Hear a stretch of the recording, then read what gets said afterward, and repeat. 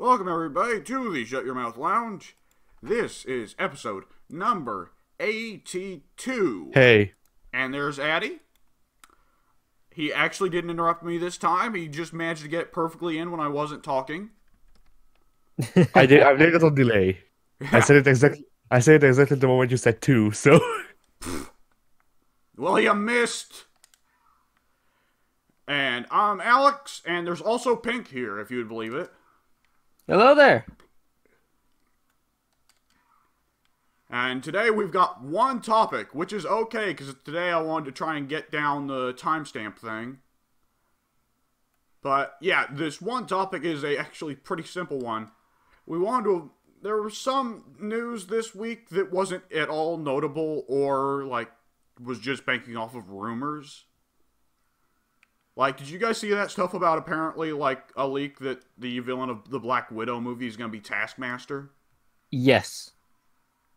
I'm happy to No, see Task. did- I'm I'm happy to see Tasky get more attention, and he's been getting a shit ton of attention lately. yeah, the more Death Taskmaster, the more satisfied I am. I don't know why I love that'll the main Taskmaster. reason why everyone goes to theaters. I mean, a Black Widow movie. I, I feel like with Black Widow being the least developed of the Avengers by far, I think it makes sense to give her a movie, if only for it to retroactively make her a better character in previous movies. I suppose so. Which is weird to say, because she her series is very much over. Like, unless they make a full Black Widow trilogy, which would be weird. but they made a full Star for Wars a trilogy. dead person. They made a full Star Wars trilogy about trilogy about Obi Wan after New Hope, so I guess it's possible to go ahead and do that. Why not?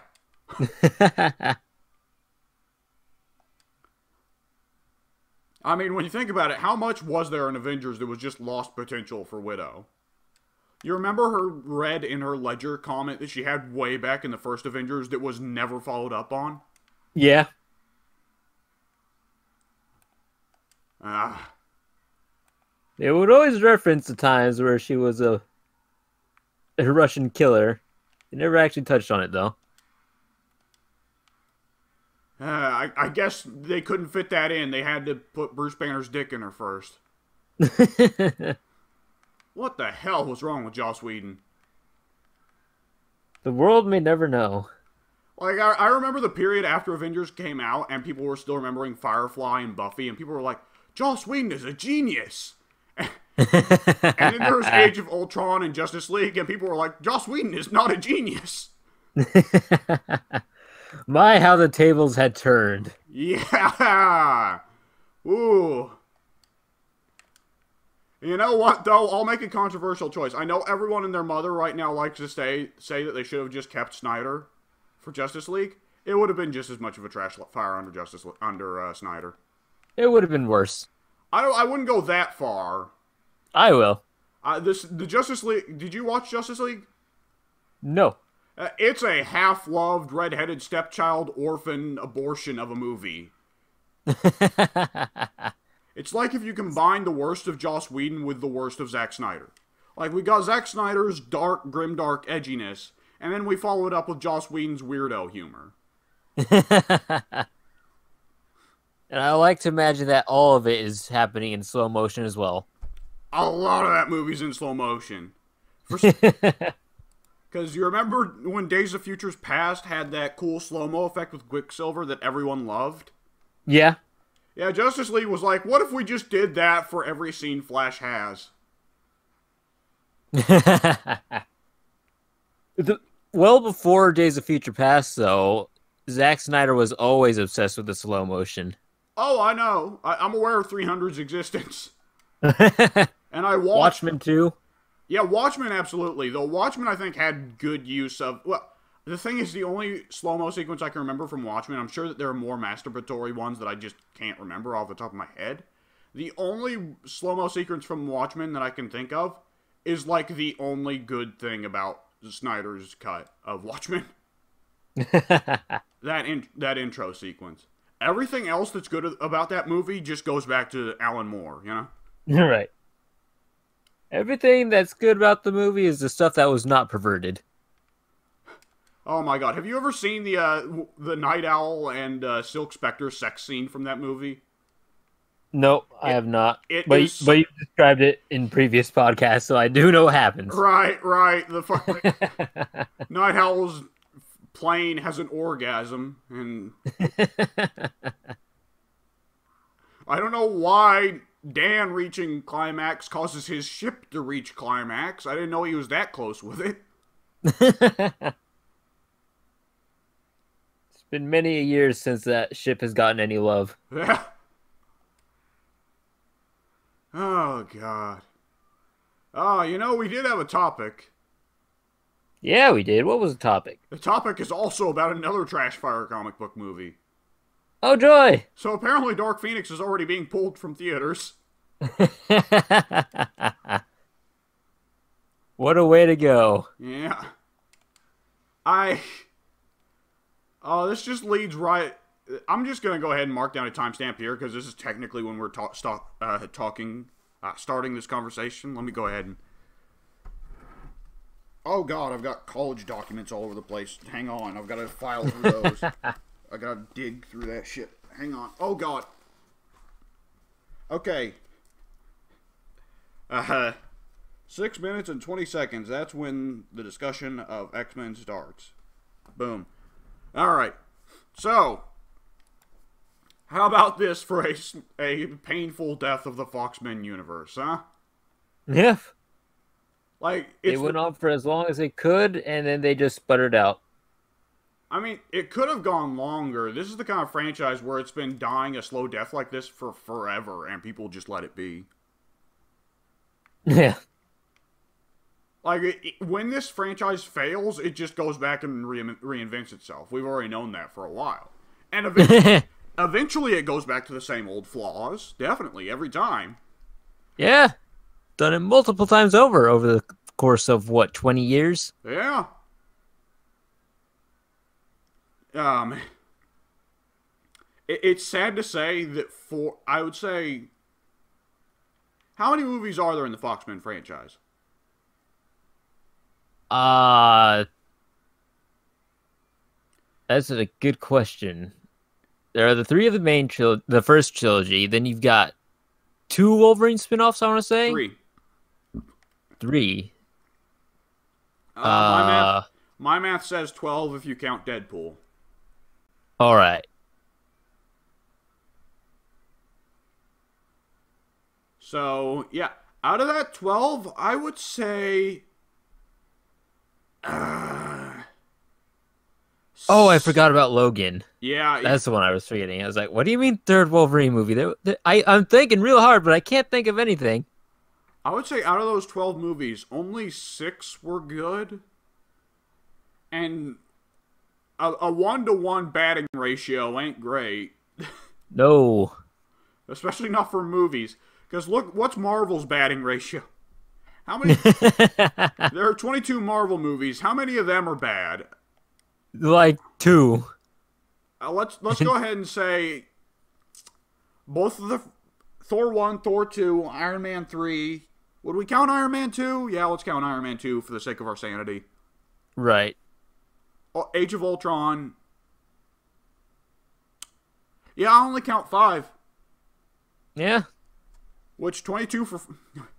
That's uh, what's twenty-two minus five? Seventeen. Seventeen for five is a much better batting record. There's better math there, but I'm not a math man. yeah. We should probably do actual ratios, but fuck that. We're we're not professionals. ati, do you number? No, Okay. I I have a paper that I that I am incapable of numbering genuinely. So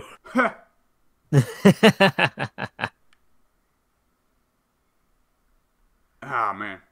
the only reason I even had to take maths in school is because I uh didn't have a professional thing from the uh from the like what you call it the state people. So like I still had a, professional op- opinion saying that I couldn't number. It's just they they weren't the ones who who said so, so they would have needed to um check me as well. And I it wasn't worth it because they take a year to send out the results, and it, I was on my last year anyway. So whatever.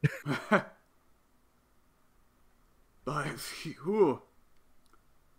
I mean, I think I think the the Foxman ratio would actually be even worse for you because I like I liked Logan. You did not, right? I despised Logan for the most part.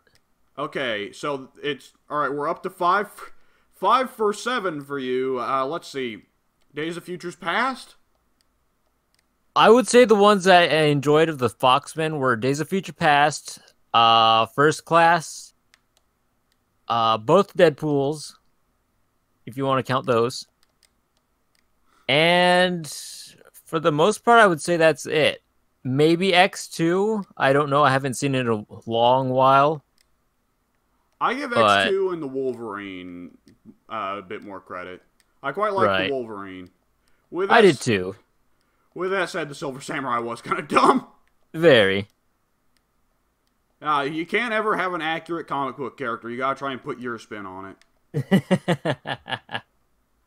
Stupid giant silver mech. Uh huh. All right. And now let me That is ask you a good question. communists. Keeping in mind that neither of us have watched Dark uh, Dark Phoenix, which would you say is the worst? X Men Origins or uh, f- fuck? What was the third one? X Apocalypse. Apocalypse. I, I I'd say Apocalypse was the worst out of all of them. Okay, that's worrying because I I watched X Men Origins and X three when I was a kid, and even as a kid, I thought those movies were trash fires. I only remember freaking Mystique and being bored about those movies. Uh huh. Well, you remember Mystique because she was naked. That's pretty distinctive. Yeah. oh yeah, I forgot about that. Yeah, because they they had to put in the fan service somehow, apparently. So Mystique's naked now. Why Mystique? I, she, admittedly, she is the most logical person to be naked all the time because That that does make sense regarding her power. So I'll, I'll cut them some slack there. What do you mean you don't want to see saggy Magneto balls? I don't know. It depends. If they want to go for, if they want to get dudes and lesbian chicks, then absolutely Mystique. But you know they could have got fucking, they could have got straight chicks and gay guys all over it with Wolverine. Hey, you, j- hey, you. How about you be naked Wolverine the entire time? Why? Cause, cause fuck you. Cause we want to make money. That's why.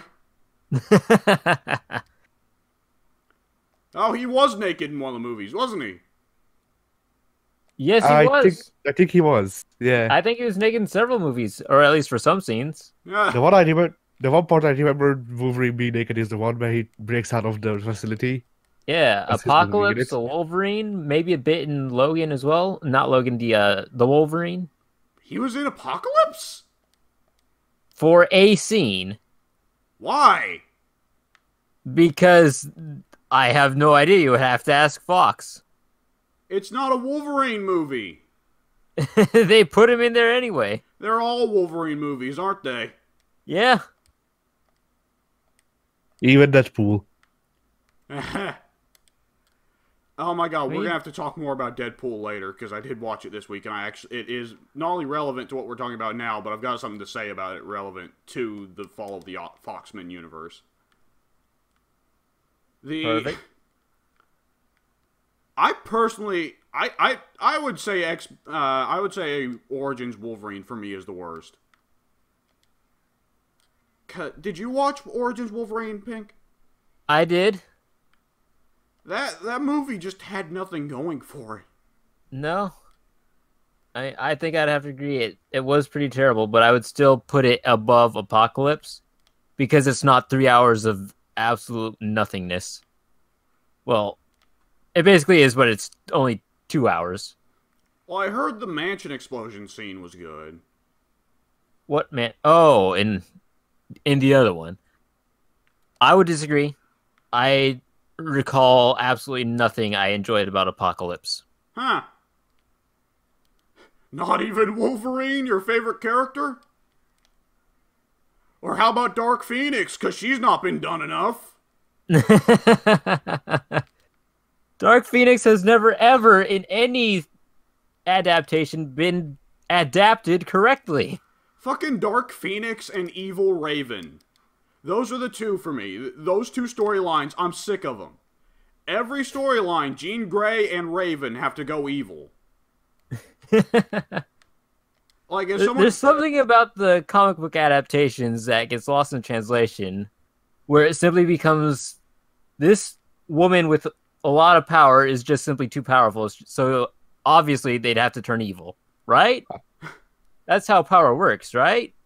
Yeah. Well, that, I that don't is know how if- movie makers always look at things, because fucking Superman, right? E- every person Right. outside of comics who tries to take a look at Superman is like, well, clearly this guy's evil. right. I- I- it's a weird effect, but there are sometimes there are characters that are blatantly overpowered that they don't have a problem with. Fucking Wolverine's invincible. You can't kill Wolverine. like they had to cheat to kill him. They had to pull some real bullshit. Oh man. oh god, you know what just occurred to me? Deadpool 2 occurring in the same universe that the Wolverine and Logan does doesn't make sense. No, it does not. Cuz a vital it was a vital plot point of Deadpool 2 at several scenes. Like, oh, Wade's regeneration has been turned off. That's a big problem. But as soon as the regeneration comes back on, it's no longer a problem. Whereas Logan and Wolverine are heavily built upon the idea of Wolverine had his regeneration turned off for a little bit, now he's fucked. Do you even remember that part of the Wolverine? Yeah, a little bit. I think. I forgot that. I always forget they put Madam Viper in that movie, without without Hydra.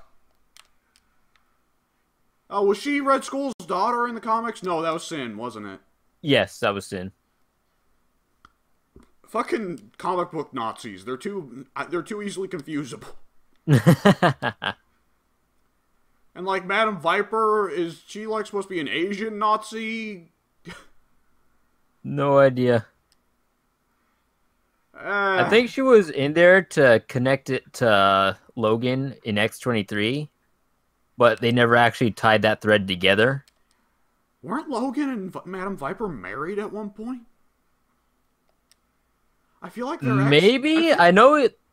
Wolverine was married to somebody evil at one point. Probably several somebody's evil at one point. Well, I mean, it, keep in mind, wasn't there a count that Logan's actually killed eight of his own kids by now? Probably. What the hell is Logan's life? it's misery. Like, the- the world is out to get the poor fucker. I actually kind of like that Sabretooth went out of his way to adopt and raise one of Wolverine's own kids for the deliberate purpose of getting Wolverine to kill the kid one day. Just to fuck with him. Because Sabretooth just rolls that way. It's just what he does. I miss that version of Sabretooth. I miss Sabretooth being a relevant character altogether. Oh man, talking about X Men makes me miss so many classic villains and heroes. Oh, we got more to talk about that later. Okay. Addy, have you watched any of the Foxman movies? I watched Deadpool, and I want to say like the first three X Men movies, but the fir- I watched the first three X Men movies so long ago that I don't remember any of it. You know what I remember? I remember naked, naked Mystique sliding under a door on her, which is weird because she's naked, so she was sliding on her bare ass cheeks, and she was sliding under and flipping off uh, Striker. Right. I remember Jean Don't- being killed in a flood. Wait, how is she so slippery? You're not naturally slippery when you're naked, are you? Sexual juices, Pink. Sexual juices. Mystique, Mystique had to lube up before she went. I'm imagining the fucking scene from Simpsons where the Scot, where the Scot, the Scotsman goes into the kitchen and he's like, "Lunch lady Doris, do you have any grease?" Yes. then grease me up, woman. Where where Scott goes into the kitchen yells, Jean! Oh, so you have watched the first three X Men movies, ati? Oh man.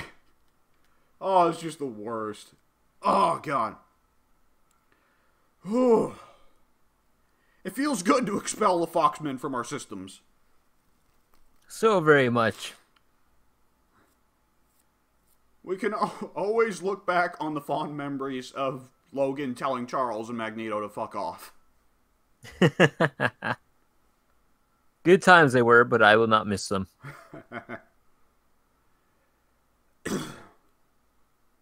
Oh, you know what? You know what's another good memory?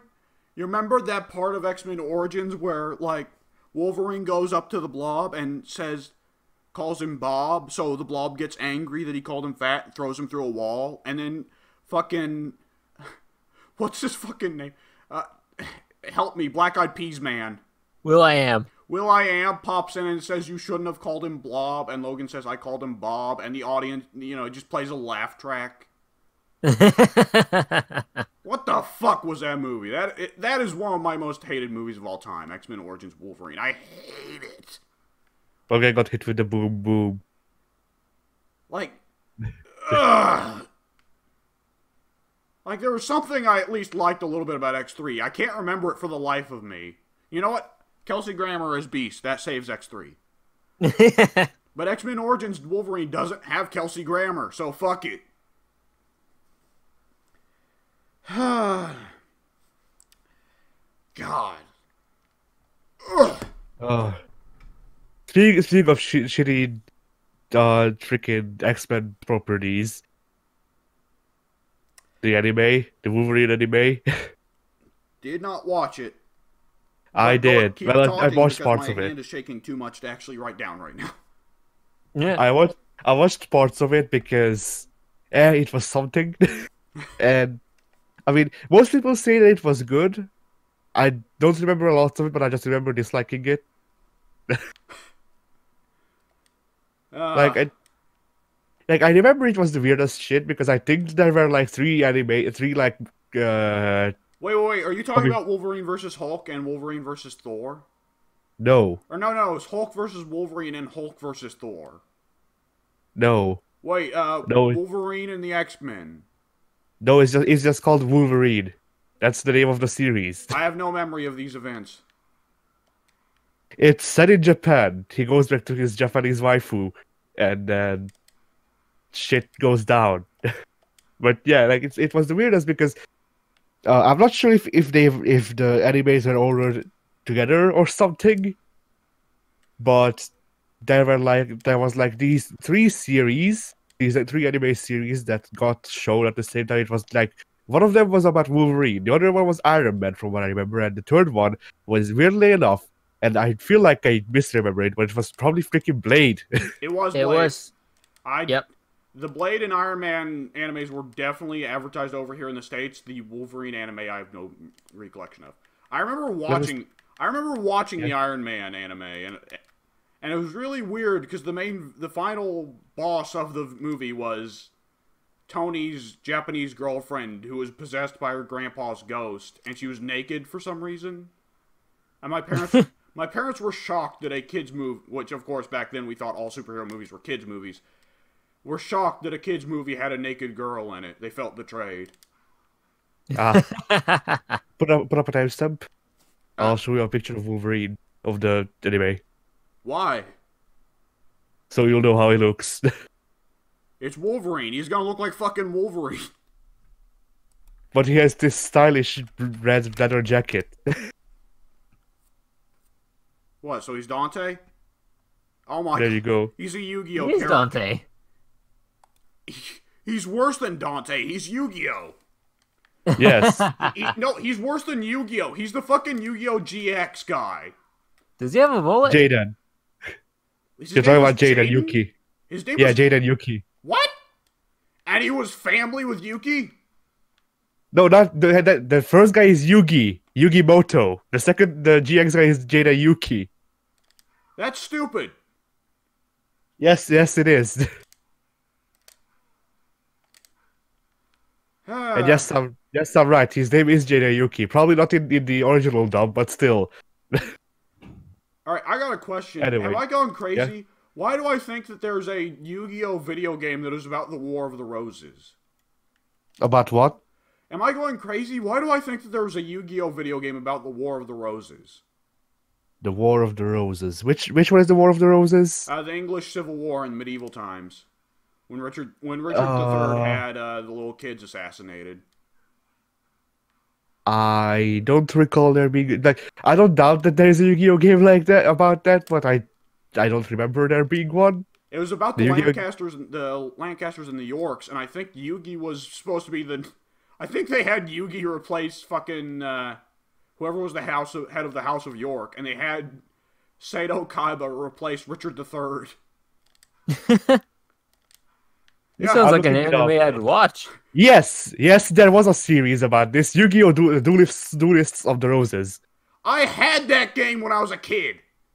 It was the wildest shit. Cause it was a turn-based strategy game, Yes, but it was it with was- Yu-Gi-Oh cards. So it was it was Yugi Muto as Harry Tudor, later Harry, Harry VII of England, T. Gardner as Elizabeth of York, Tristan as Thomas Gray, Mai Valentine as Lady Margaret Bu- Beaufort, Joey Wheeler as Christopher Urswick, Shadi as John Morton, Ryou Bakura as Jack Cade, and Solomon Muto as so I'm gonna assume Jo- Solomon is probably Yugi's grandpa as Jasper Tudor, and then Shadow was Christian Rosenkreutz. And then they just added everybody else who was also a freaking villain in the Yu-Gi-Oh series, but they didn't replace people. Wait, so none of them are Richard III? No, Easily the no, most famous. no, no, historic- no. He is Sly Someone named Sly is Richard III. Why? I don't know. Why not make it Seto? Seto's the big villain of Yu-Gi-Oh, and Richard III is by far the most famous individual from the War of the Roses. I don't. I don't know. The only the only other named uh, named person, or you know, someone who, who took the place of a real person was Pegasus, who who, who took the, the place of Thomas Stanley, first Earl of Derby. Eh, I just want to say that there's the there's a character. I'm not sure if it's an actual Yu-Gi-Oh character. I doubt it. Uh, but it, there's this character called Player Killer of Darkness. Player Killer of Darkness. Player Killer of Darkness. Uh that's an interesting name there. I'd almost be interested to see a game that has an enemy that is called the Player Killer. this, this guy's name is apparently shortened to Panik. But yeah. So going back to the to the to these animes, I, I feel like I watched a lot of the Blade anime because I like I like Blade. I don't remember anything about it. The Wolverine anime, I just remember disliking it, and I didn't even watch the the Iron Man anime. I Because mean, yeah, For me, at least, the Iron Man anime was my first introduction to Iron Man, so it prepared for me for the movies. ah, Ew. Yeah. Over here, they showed it after the first movie has been out for a while. I mean, like I think the second, yeah. I mean, it set it, it it set me up on one thing that I, I will say one thing that I think it did pretty well. There's only one. There's two scenes I remember from the Iron Man anime. One being naked ghost girlfriend, the other one being that him and the girlfriend bond over the fact that uh, Tony, they're both of their dads hated them. And I think I think it was actually something like uh, Tony's dad always wanted a daughter who would be better at business, and the Japanese daughter wanted a son because sons are more honorable in Japan or some shit, you know. Yeah. But anyways, keep going. About what? Oh, you were, I thought you were gonna keep talking about Blade. no, I, I don't remember anything about it, dude. Ah, I just told you. yeah. All right. Uh, Bl- about Blade. He was in Spider-Man Friend or Foe as an unlockable character. Woo! Yeah, he was. there you go. Yeah, him and Iron Fist. Oh my god, I Yeah. got something to say about Iron Fist too when we get to Game of Thrones. Oddly enough. Alright, so I'm going to go ahead and mark down a timestamp right now because we are going to be transitioning to the part of the show where we talk about what's coming out on the channel this week. Alright, ati, go ahead Give and me a what- sec. Oh, fuck. It's loaded. Alright, while you do that, Pink, what's coming out on your channel? I don't think I've got anything coming out on my channel. Sweet. I should record stuff today. Probably won't happen though. Yeah, I keep thinking Shit's I should still record loading. stuff. And then I Right. I ha- I have it up. don't. Woo! so, on Monday, people will be able to see Rainbow Six Siege Part 11. Whoa, we recorded a lot of that Oh stuff. man. Is that our And then- longest series, or is Terraria still out uh, longer? Uh, Terraria is still longer. Terraria ended in 14 episodes. 14 episodes. And also, and also Sie- Siege's actual episode count is one minus because right, we right, skipped episode 9. right. Yeah. But yeah. Uh, and then on Friday, people will be able to see Dead by Daylight, Kratos' Crown Ca- Crown King connection. That, yes. Oh man. Yeah, he's got a big one. That that series is not one I'm gonna be able to actually watch. I don't know about you guys. That, that's a that's a video for the viewers right there, and I ain't going back. That's a video for what? You cut out. I said that's a video for the viewers, not for me. ah, yeah. Oh man, because we we were that might be the hardest we've ever yucked it up in a video, which was fun. But I don't think I'm gonna be able to go back and watch myself do that. Have we ever yucked it up harder in a video than that? I don't I don't know. But I, I do know that I don't need to worry about shit like this because I'm just like I'll do the cringy shit that I like for now and then I'll read it later. But that's that's that's future Eddie's problem, not present Eddie's. It's not it's not cringe. It's just I don't think it would be like. I think the magic is lost behind the scenes. ah yeah. Right. Yeah, I don't recall any other instance where we've done something quite like Dead by Daylight, so as of now that is the first of its kind. Yeah. Harry Potter. I Well, that was something a bit different. we were playing characters rather than making up our own. Right. True. We knew what we were getting into with that. I think I think it's somewhat similar in the case of Sea of Thieves, but that one was mostly Addy. right.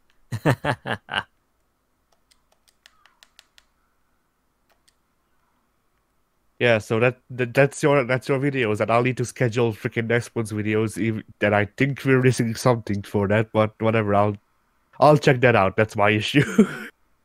I would say we That's should my get some recording done this week, but um, my dad is actually on vacation from work, so we are probably going to be just jamming out Game of Thrones for this week. Nah, nice.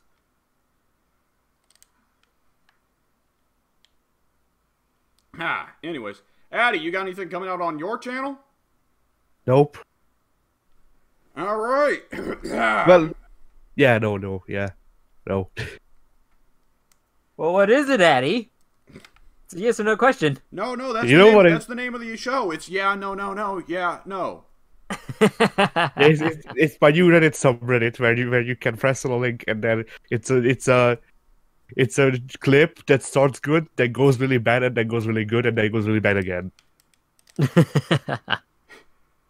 He decided 50-50 wasn't strong enough. Yeah, You need you, you need it to be a 100% chance you're going to get some good and get some bad, but you need to get it both in equal measure. yeah.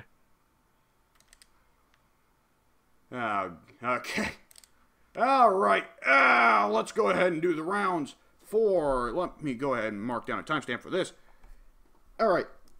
Ah, Pink, what you been up to this past week, man? All right, this week, let me try and think. I know there must have been something I did. I finally started watching The Good Place at your recommendation. Okay, how far are you in? I've only made it two episodes in thus far. I really wanted to see more before podcast, but I had other things I needed to do. It's but right good- off the bat, I'm really enjoying it. yeah, that show starts off on the right foot, Yeah. and it only keeps finding better and better footing. Like, oh boy, I- I'm excited to see f- how you are for season two. Because season two is like entirely different in concept. It that show moves, man. oh, that's good stuff. All right, so what's the chief things that you really thought about the first two episodes of Good Place? Uh, I think the cast is fantastic. I've never really taken much notice of what's her name, Kristen Bell.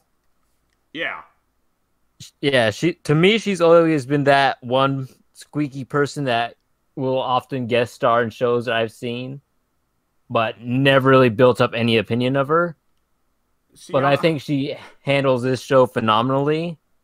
I've, And uh, I've always ahead. been inclined to like her, but I should note that I'm that I love her husband Dax Shepard. So, right, which Dax Shepard, I should note, does guest star later in the series. nice. Anyone else here love Dax Shepard? I think I've only seen him in Employee of the Month. I've not seen I- Employee of the Month. Is it a good movie? I freaking love that movie. You might not. I don't know. Huh. All right. Uh, what's it? I, I forget. What's that movie about? I feel like I have heard of it at some point. It is. What's it about? It's about this one dude who's kind of a bum working a retail job. And basically, new person is hired who is really beautiful and he basically wants to get with her. But uh there's this. I'll say it's basically a rumor that the chick is only interested in guys who are basically the employee of the month. So now he's competing with Dax Shepard to become the employee of the month. All right, That's a that does sound like an interesting concept. Ordinarily, I'm not big on the kind of movie that's all about dude. I just want to get laid. Yeah. With that said, I just made a big gasping noise because while we're doing this, I'm trying to run through Dead Rising 1 on PS4 and get all the trophies, and I just saw the greatest thing ever. I, I fucking suplexed a zombie into the wall, and the zombie then merged into the wall and rode it all the way down before eventually falling off of it. And I need I need to show you guys that clip. I'll I'll upload it to YouTube later. See that on my. There we go. That's what what's on my channel for this week. A fucking gliding Yeah. zombie. Yeah. Quality, quality, quality. okay, but so who's the main character? Who's the main actor in Employee of the Month? Because you're the movie you're describing rings a bell, but I'm Dane Cook, I want to say. Oh, I don't know. I- That that name rings a bell, but the I'm not seeing a face in my brain. Right.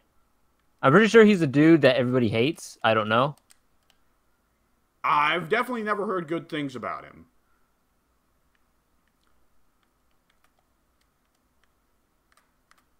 But oh, is there anything else that's distinctive about the movie? Because I, I I almost can see the poster in my brain, but I'm imagining Seth Rogen. It sounds like a it does sound like a Seth Rogen movie conceptually. It does. There's not much else I can really think that stands out about the movie to me. I thought you said you loved it. I I do, but I don't think there are any descriptors that would possibly cue any revelations here. It's hmm. I don't know. Huh. All right. I guess we'll move on. Yeah. So the So yeah, that cat that cast is actually pretty good. My family did really did not like Ted Danson going in, I should note.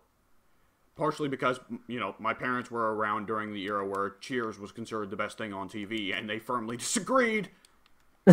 So, like, and my family is the kind of individ- kind of people that if you're on a show they didn't like, then that means you're in bad territory for them. right.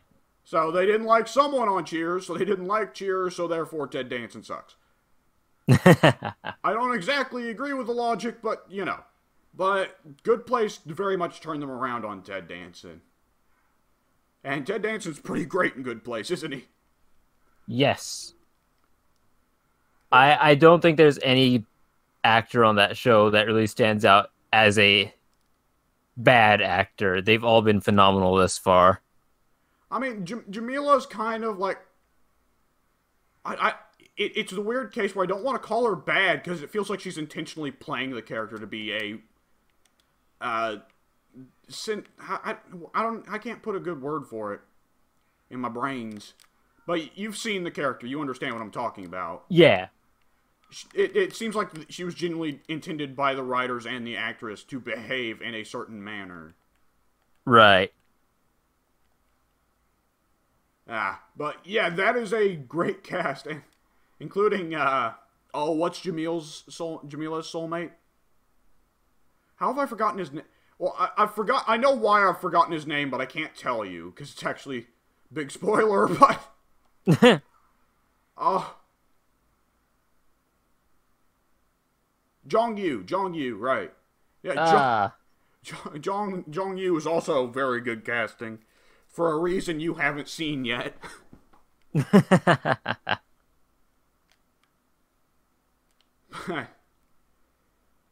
I mean, okay.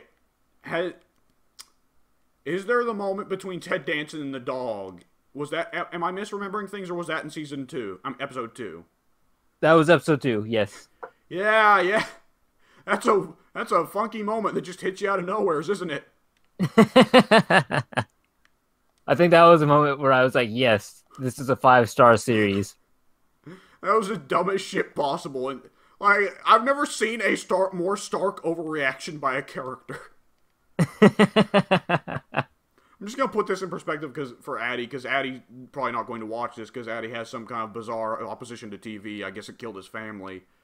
But there's a moment in this show where Ted Danson's character, who is an angel, believes that his sector of heaven that he's working has been tainted by a dog who is not supposed to be there.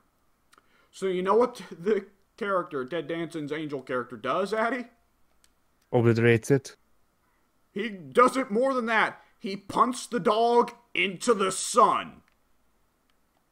And you watch the, dog, method. you watch the dog fly into the sun. The Superman method. I like it. Yeah. I don't know even know why it's become a meme for Superman to throw people at the sun. He's never done it.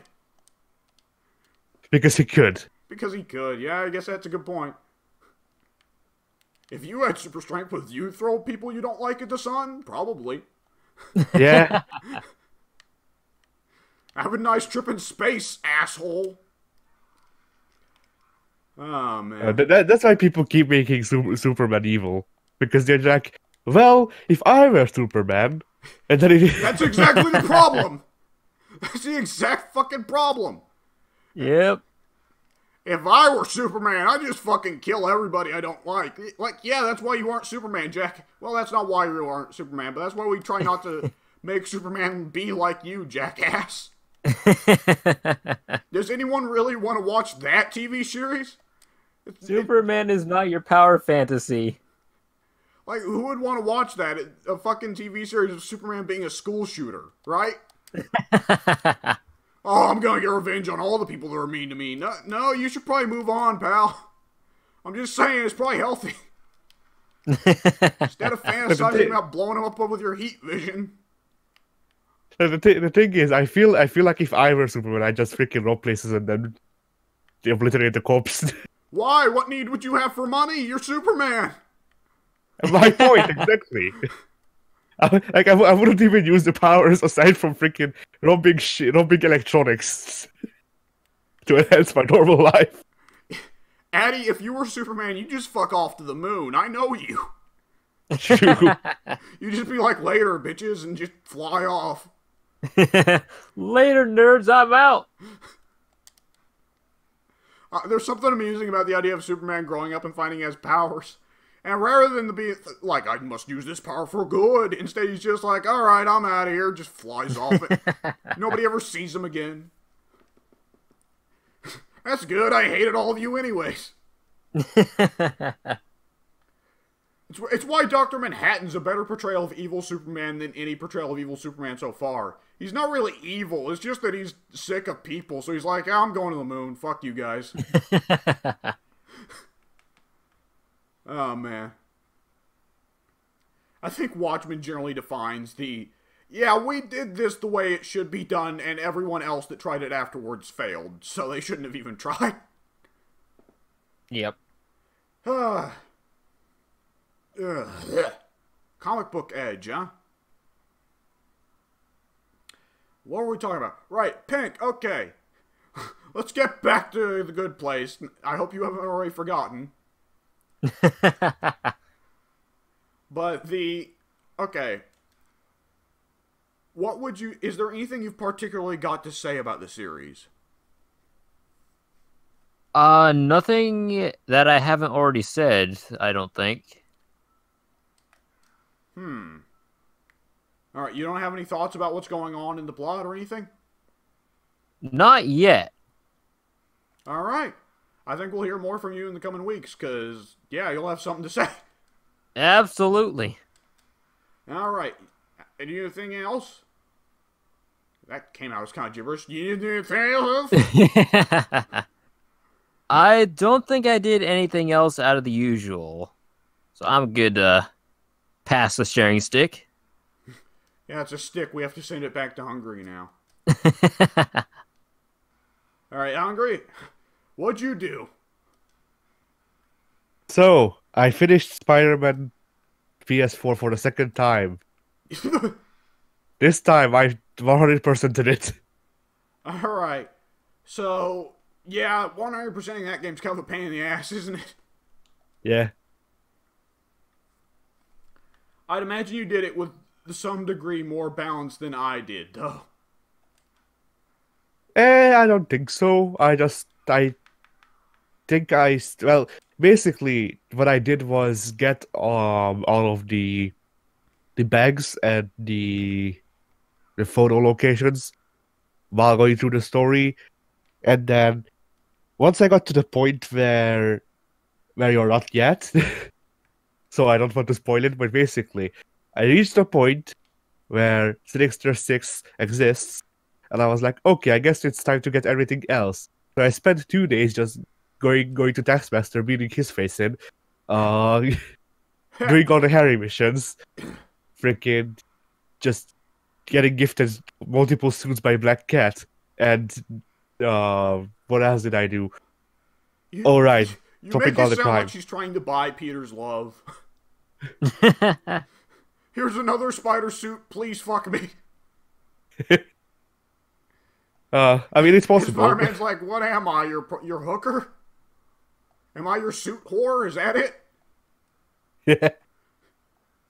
Uh, You think you can buy my love with spider suits? If you think But- that, you're correct. But but look at this one. It it has a it has a nice fri- frilly uh sta stitching, and al- also I, I cut out the ass part so you can shit while web swinging. yeah, that oh, that'd be the worst. Could you imagine Spider-Man just swings over your head and you just see shit land on the car in front of you? Shit lands on you. I was I was hoping Spider-Man would at least have the courtesy to aim for the cars. Uh, at that point, he just becomes a freaking pigeon. If, if Spider-Man did that, I'd believe J. Jonah Jameson that he's a menace. Everything was true. He is a menace. That'd be an interesting. That'd be an interesting headline on the Daily Bugle. That's for sure. Spider-Man shits on people. Yeah. Uh, so, uh, that the small memoirs that you pick up with the bags are nice. I liked most of them. Some of them are just there to be there. I felt. Oh yeah. Well, the thing is, a lot of it exists to provide the backstory for the world. Because the thing, is, it's part of the thing of starting a Spider-Man series already like five years into Spider-Man being Spider-Man. Yeah. You kind of Uh, have to be like, yeah. all right, so here's explaining how long we've been fighting Electro or Shocker or what have you. The part I dislike is that they have they have the classic suit. They have like five. They well, they don't have five versions of the classic suit because then I might be satisfied with the with the selection of classic suits. But basically, what I was going to lead that is that they have the like classic uh comic suit, and it doesn't have the freaking webbing under the armpits. That I dislike is that. a definite annoyance. I mean, And the worst part is that and the worst part is that the webbing is a is a pickup from a bag, but you can't put it on. ah. You know what they need to do? They need to make it where you can get it with any of the suits, and it needs to be an upgrade. What? They, Yeah. Okay, here's what they need to do. They need to add it as an option, like a suit upgrade. that allows Spider-Man to glide, like a Yeah, wing, I was at, like a wingsuit. Yeah. I was about to say like, yeah. Like they they have the Iron Spider suit, the original one, not the shitty freaking movie one. Well, the, the original Spider Iron like Spider is not, not much better. Iron- I like the movie Iron Spider suit way better than the com- when the comic Iron Spider suit. I I did I disliked it much more than the comic one. It actually is blue and red. Eh, It's a combination of your favorite and least favorite colors. I I just don't like how it looks like how it's just freaking metallic Lego Lego blo- blocks making out of freaking web pattern. It looks like garbage to me. But The yeah, red and gold is so much worse. eh, Oh man, I thought It we just- had a universal agreement to never praise the comic Iron Spider suit. the contract has been broken. Addy has forsaken his soul. Freaking Mem- Mementos is, is currently take, taking over the world as we speak. Anyway, uh, yeah. So they have that, and that that that's had, that had already built-in ability to glide. So they could make it a thing where you can either choose to have the have the webbing under the under the arms to glide, or switch on that suit. yeah. That that could like that could be an interesting application of that of of either of those shitty suits. I mean, But with some, yeah. of the, some of the suits, you just gotta gotta question uh, like, why not just make it like an upgrade option? yeah, It I like you, how- it gives you a good yeah. motivation to buy suits, even if you don't like the suit design. Don't get me wrong. It's just some of the stuff is like, like oh, oh damn it, I can't think of any. But there's plenty of suit powers that seem like perfectly reasonable to just make it a random generic upgrade.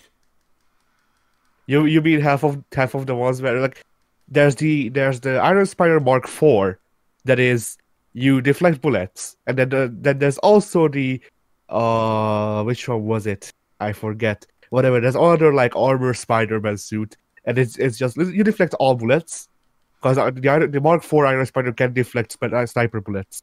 That one can. If I have both, Yeah, or like there's four different abilities where or four different suits where the abilities is just Spider-Man hits harder, ha. including the one I'm using. so you know, But do they change the moves he hits harder with? no, no. The like the different the difference is, uh, one of them makes makes it so his arms get like shock shock waves around his hands. The other one makes it so his arms get get like electric or something uh, uh, to show that that he's more powerful. And then the the one that I uh, you I used just makes him red, like glow red for some reason. Red means He's- he- stronger. He's not he's over he's overrun by the Satsui no Hado and that's how that's why he's stronger. Yeah. We could have got that Mar- if Marvel fought 4 existed or something. I don't know. Oh, Marvel versus Capcom set makes me sad. But yeah, uh, the game. Uh, no, yeah, yeah, yeah, yeah. The 100% completion thing. It's a joke costume, and it's not even a good joke costume in, in my opinion. Yeah. Because like, what you wanna know what you get for 100%ing the game, W? Uh. What? You get the, you get the costume that gives you heaven or hell mode. For one, that's the ability. Uh, Interesting. for two- and for two, it's just Spider-Man in his mask and underwear. Ah! Underwear Spider Man. Yeah, there's a lot of Yeah. people that would consider that a good 100% completion goal. I don't. What are they just? I Gonna, would've- uh, what are they gonna do, Addy? Just give you another weird suit design? I mean- if the Iron Spider was the 100% completion goal. Because, like, I, I'm assuming you want something cool as the 100% instead of something funny, right? Well, it's not not cool. Well, not necessarily something cool, but you know, like, say there are so many classic Spider-Man designs. Use one. Some people don't like, Like- the classic Spider Man designs. Tough shit. They bought Spider-Man. Okay. How many people fervently dislike yellow and blue Wolverine? I'm pretty sure Pink hates yellow and blue Wolverine, I do not like the astonishing Wolverine. which I think is crazy, but whatever. I don't talk to yellow and brown fans.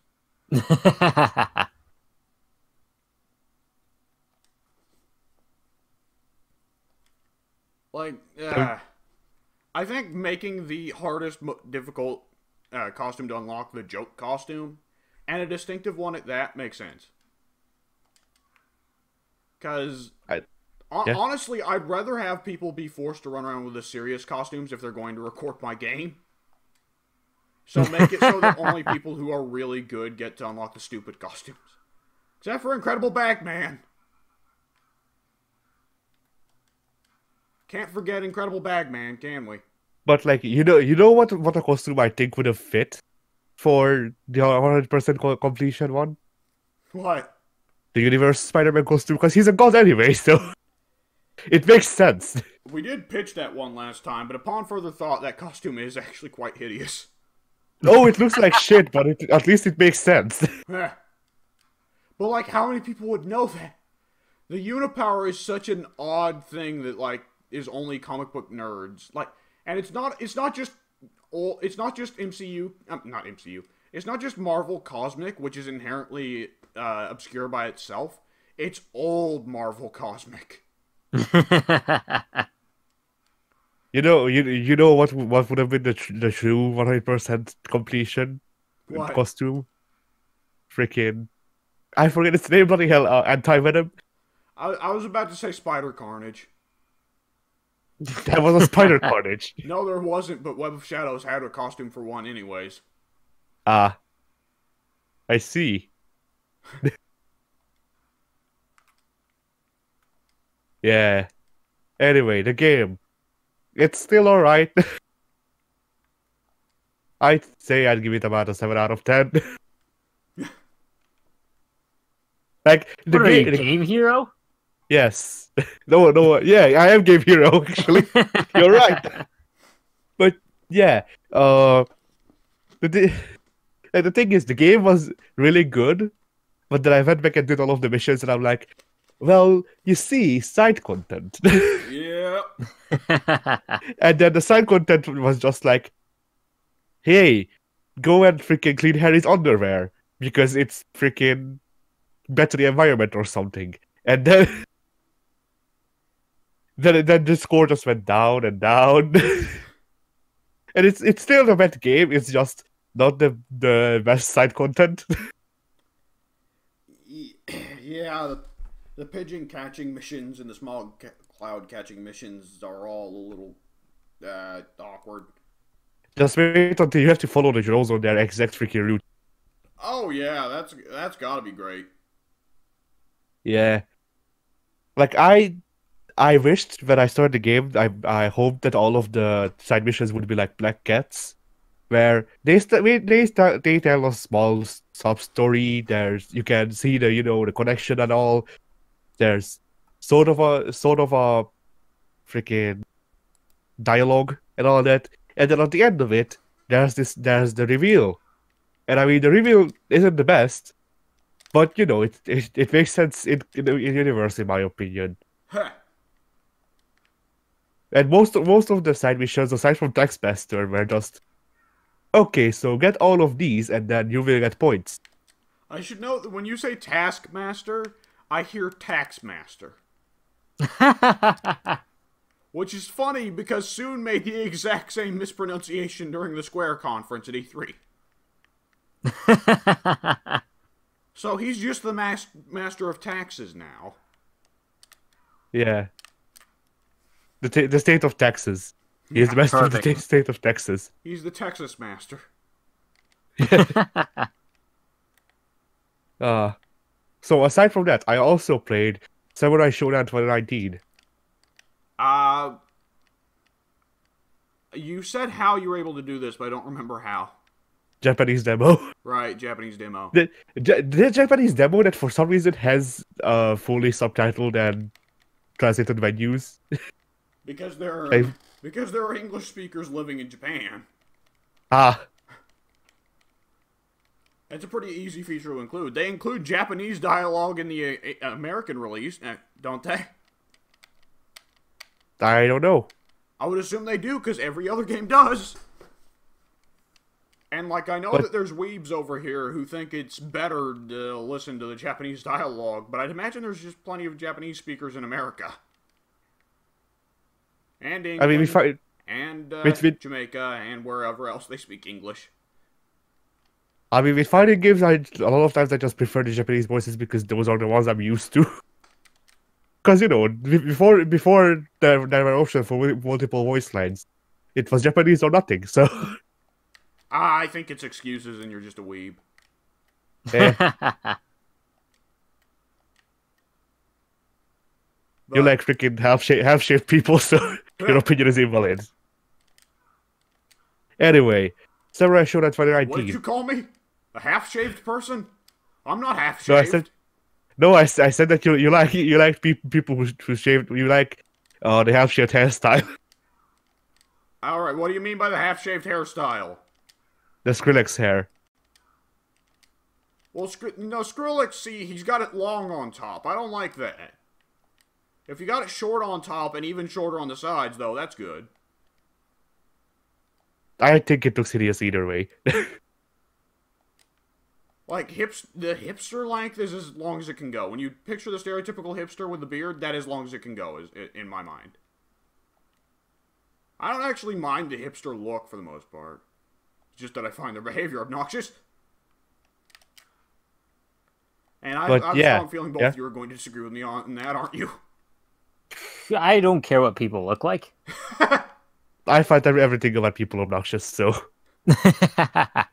I, Pink, I guarantee you there are looks that you despise. Probably.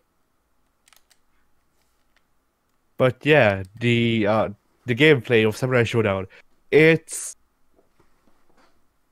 uh, it's good. like the the fighting is fun and all that.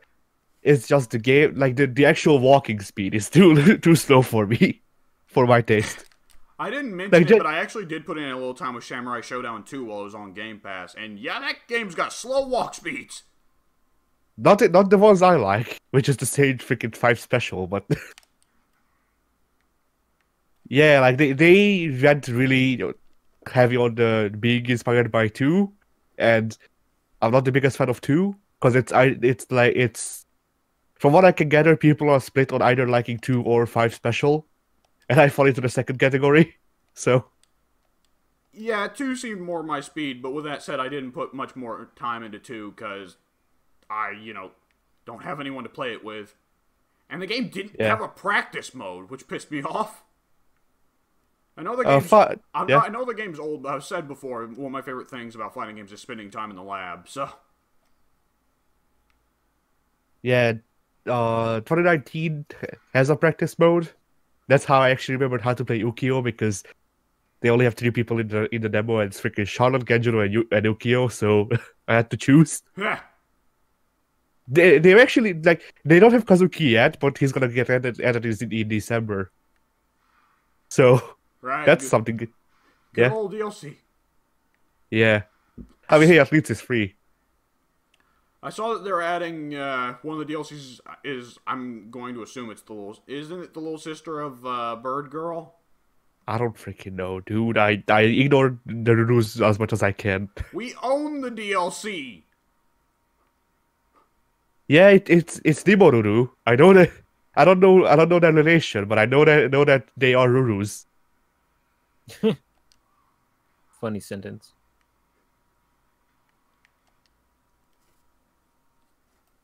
Like it has to be Nakaru's daughter, doesn't it? Daughter. Yeah. Daughter, what? Whatever. Fuck it. It's ancient times, and somehow Nakaru's still alive in the modern day. So go figure. Nakoruru never dies. She she's a plague everywhere, anytime. She's slowly sucking the life out of her opponents to gain immortality. Naku- Nakoruru Nakoruru is slowly sucking the life out, out of every fighting game that houses her. I give her a hard time, despite the fact I've never actually played as her in any of the games. She might actually be a good character. Because there's been plenty of characters I judge from a distance, and I actually played them, and I'm like, oh god, I actually like this character. like, I played Nakuru. Yeah. because I've had that with I had that with uh, Mai in King of Fighters, and I've also had that with uh, Lucky Chloe in Tekken. With who? With who in Tekken? Lucky Chloe. Ah. I played Nakoruru, but that that was before the big skip of me. So I don't actually remember how she plays. I just remember disliking her when I did play her.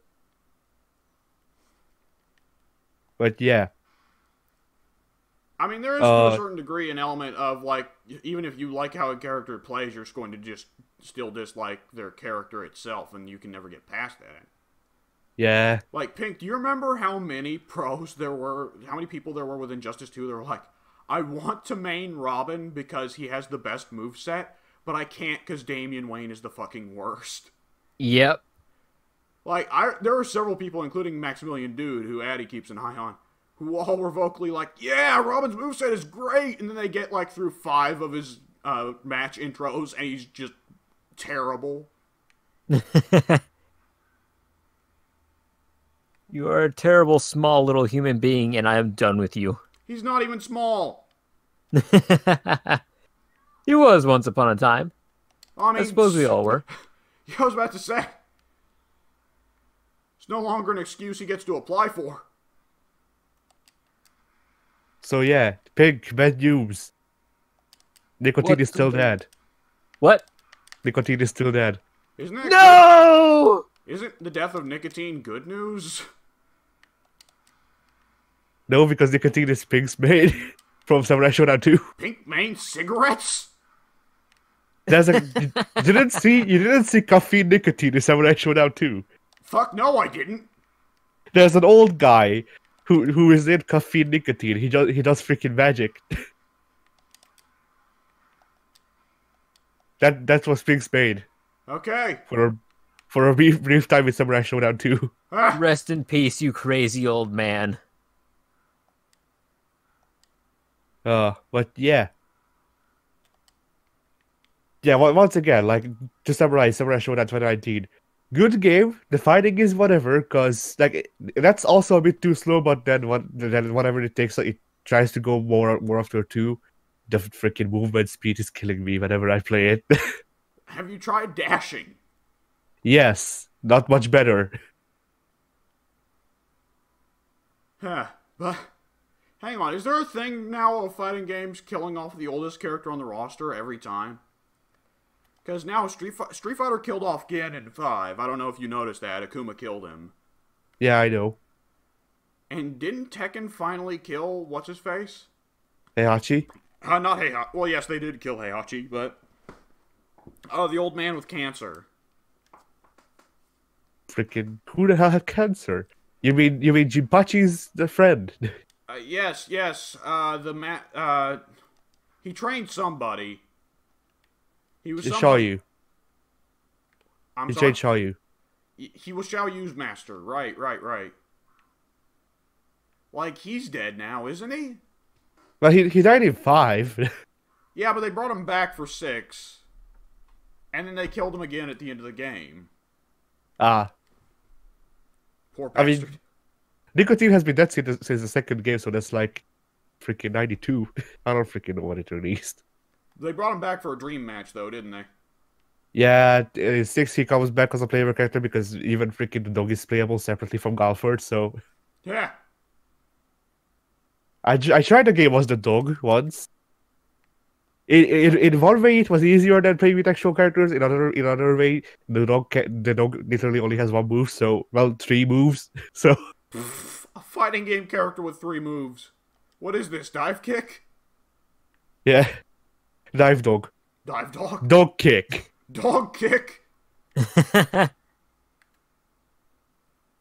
Dog kick sounds like he's my speed, so I'm, I'm I'd be okay with that.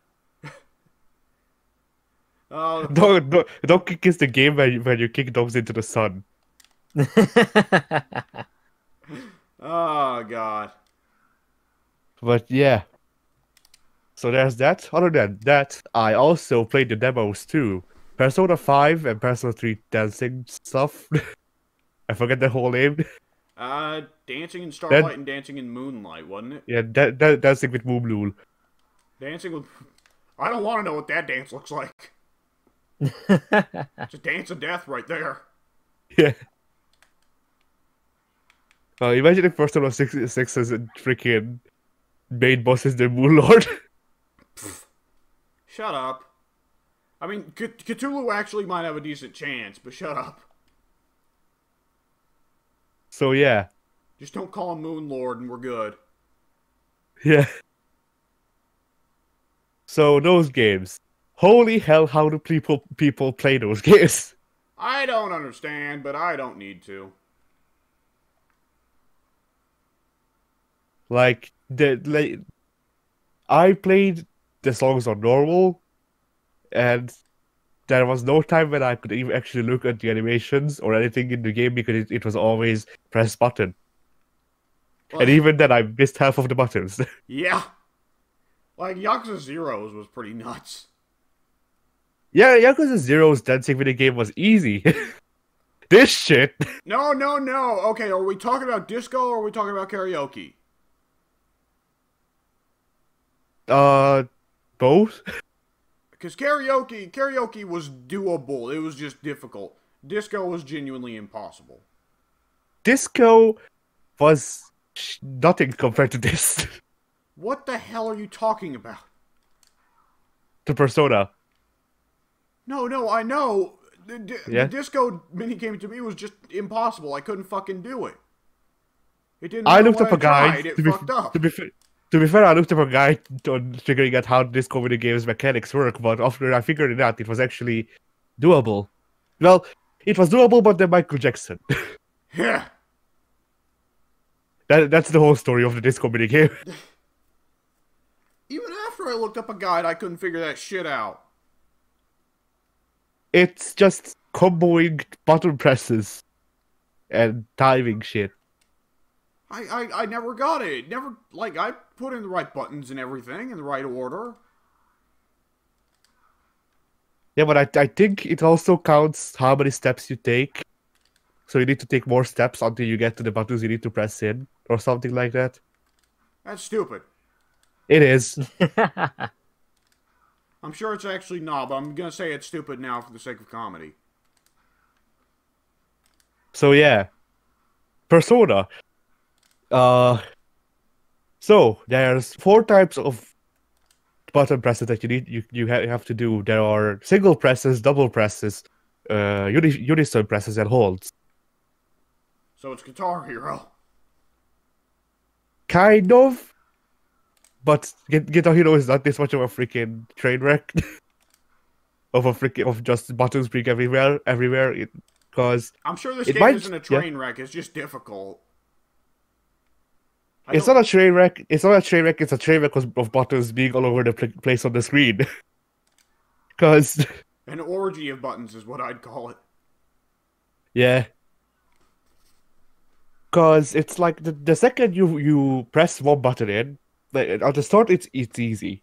At the start of the start of any song, it's like okay, you can get get on the freaking rhythm and all that, and then you reach the parts where the songs actually start playing, and there are four or five unison bars on the screen, as well as as well as three holds, and five double presses. And you need you need to you need to figure out which one which one to press, but also because of of the size of my TV, I can't see and the and how close I am to it because of space issues.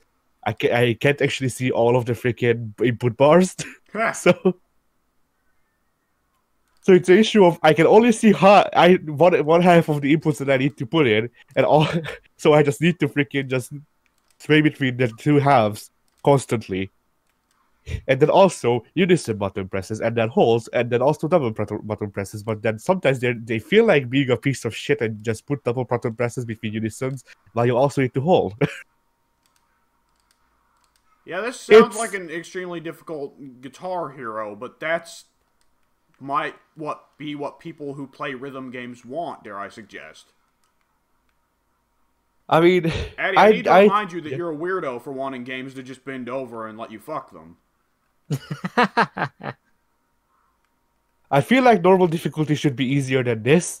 Like this is something I considered h- for hard difficulty, but then then we move on to the other game that I played, Taiko no Tatsujin. I want to ask, like, how much experience do you have with rhythm games?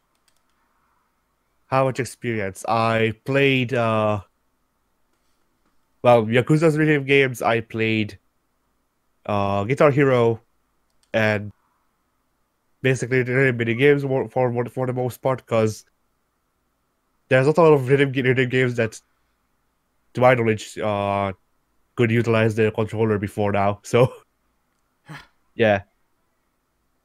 So, a little bit, but not a lot. Yeah. So, are we for sure that you are not playing the Dark Souls of rhythm games? No. I, I just I just don't think that that this would be the Dark Souls of rhythm games. There is there is this one there is this one looming figure over every rhythm game that I feel like they would be the Dark Souls of rhythm games. Their name is Hatsune Miku. Everybody loves Hatsune Miku. Uh, Hatsu, Hatsune Miku. Yeah, Matsune Hiku, we know. Uh, Pink and I know especially. But yeah. So I I don't remember because I remember trying out Hatsune Miku game. I don't remember my experience with it, so I need to give it another chance. Are you sure you have to? It sounds like you don't. You're having. It doesn't sound like you're having a good time with it. You got out. I said, "Are you sure you have to?" It doesn't sound like you're having a very good time with it. Wait, Hatsune Miku. Yeah, I don't with, even with remember- rhythm games in Yeah. general, really. I like rhythm games. Really? That's the weird part. Yeah, I like rhythm games. Huh.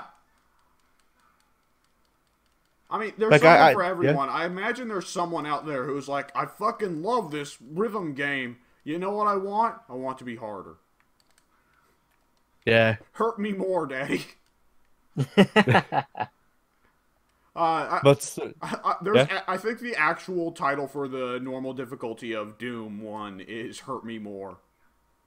no, it's hurt me plenty. Oh, Hurt Me Plenty, right. Which, the first, I tried, actually tried Doom 2 on the normal difficulty for the first time yesterday. Not that actually that hard. Uh, So yeah. Uh anyways, so Taiko Taiko Tatsujin. Have either of you heard of that? Uh, vaguely rings a bell, but no. So Taiko no Tatsujin is the biggest arcade game in Japan. Explain. It's so taiko are a type of drum. Taiko are these gigantic ass Japanese okay, drums. Okay, I know what you're talking about. I'm, I'm, I'm picturing it right now in my brain. Yeah. So taiko are these gigantic ass Japanese drums. And they're real big in traditional music. So what Namco did like 50 years ago, I don't actually know the, ti- the times, but yeah. So what Namco did like 50 years ago, where they went, well, yes, taiko, but also video game. So they made a, a video game, a rhythm game that that is that is controlled by taiko taiko drums. So there are just these arcade arcade machines with a screen and a drum, and you beat the drum to the rhythm, and the game tells you where to beat the drum, and that's how you get points. And then big monies, right? I don't know about the money. I don't think they give you money out of it, but yeah. Oh, I mean, I mean, it made big money for them. Ah, yeah, yeah, yeah. It, made big money for them. I mean, it is, it is the most popular arcade game in Japan, as far as I know. But yeah, Taiko no, Taiko no Tatsujin uh, is Namco is basically just Namco and So we've been doing this game for 40 years, and we still haven't released a console version, as far as I know. They, might- they probably have in Japan, but we, we still haven't really. What fucking yeah. American is gonna play this Japanese drumming game? So then they released it internationally. Really? Yes, this is an international game. You can look look look go the PS Store and write in Taiko no Tatsujin, and it will give you the game. It's titled Taiko no Tatsujin Drum Sessions. But yeah, I tried that out, and No Tatsujin either from the well, it's just uh from the well, basically it shows how they how I feel like they have more experience than say uh, Atlus after creating the rhythm games because their UI is easily understandable. every everything everything moves, but it's easily underst- understandable. You have a control scheme that's not hard to figure out, and e even then, they, there's like a good 15 minutes of them just going. So, we know that you don't have a drum controller because why would you have a drum controller if you didn't buy the game with it? Yeah. So we know you don't have a drum controller. So you pre- you press this button for this side, that button for that side. The rest you'll figure out. Yeah. nah, they actually have a really really comprehensible tutorial that you can skip. But yeah. So that the controls, uh, the basic controls is one half of the face buttons, uh, are the inside of the drum. One ha- the other half are the outside of the drum, and then there are times that you have to press both sides together for the button to hit to register. So it's just a thing, thing of you know, thumb coordination.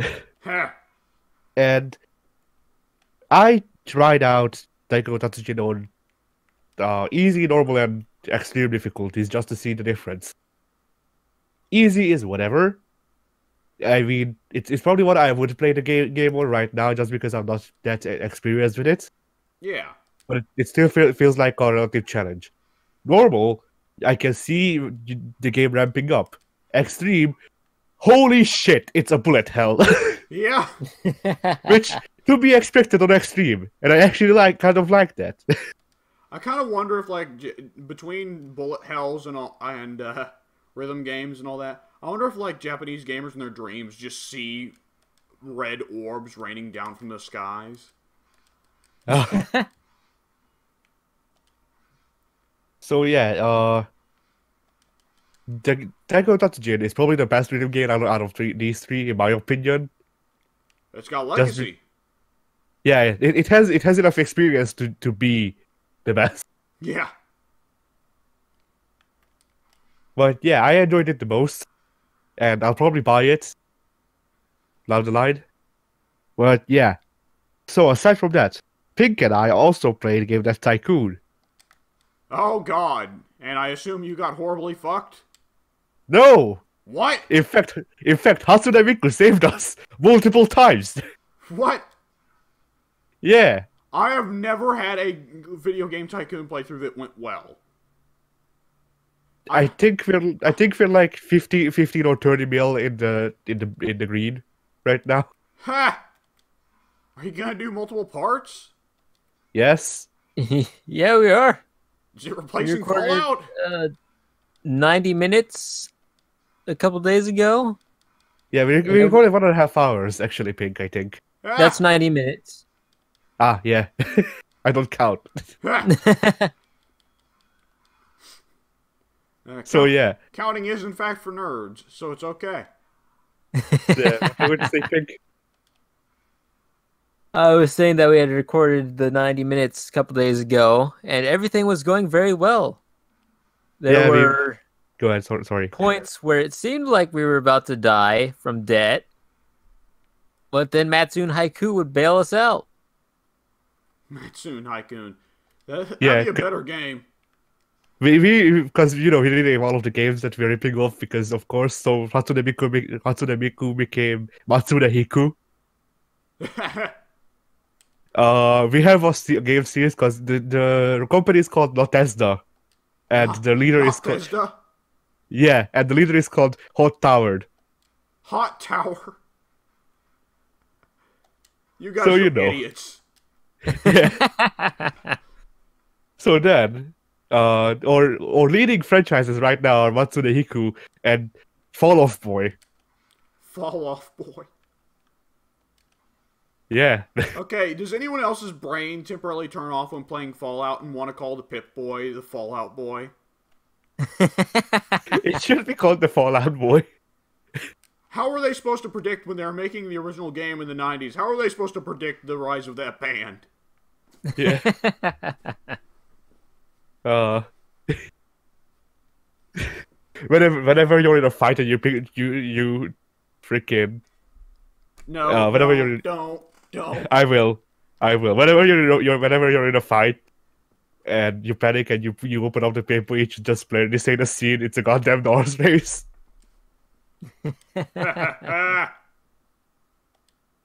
Uh. Yeah. Anyway, so we we made so many shit games. So very many. yeah. and they've all done good numbers. Eh. I mean, I think only one of them went went below five overall, but yeah. Ha! We range from average to good somehow.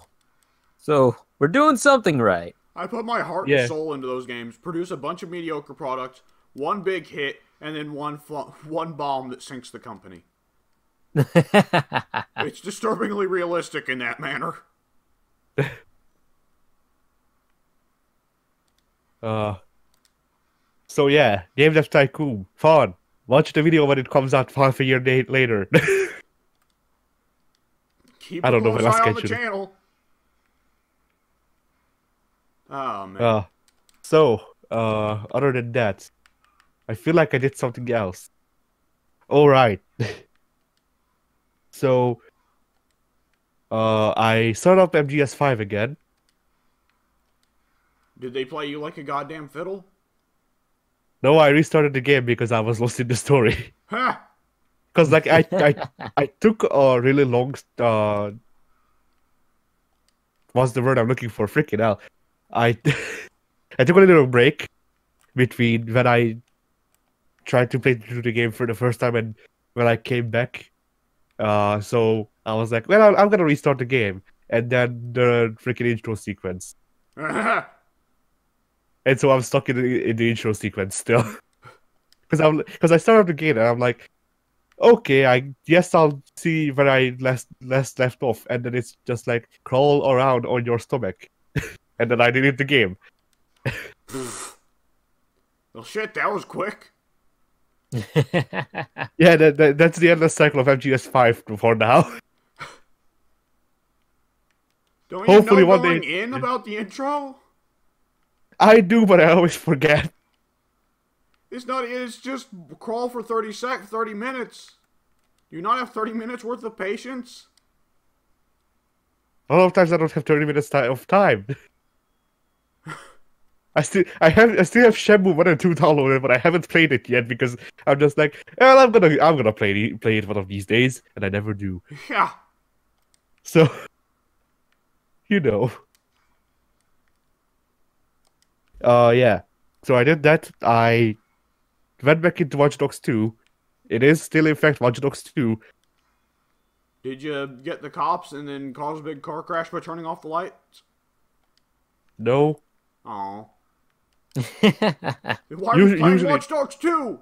If you're not gonna Usually- watch usually- dogs, You. Uh, I, I remember the Watch Dogs. The freaking rip when the first one came out. First, first game came out.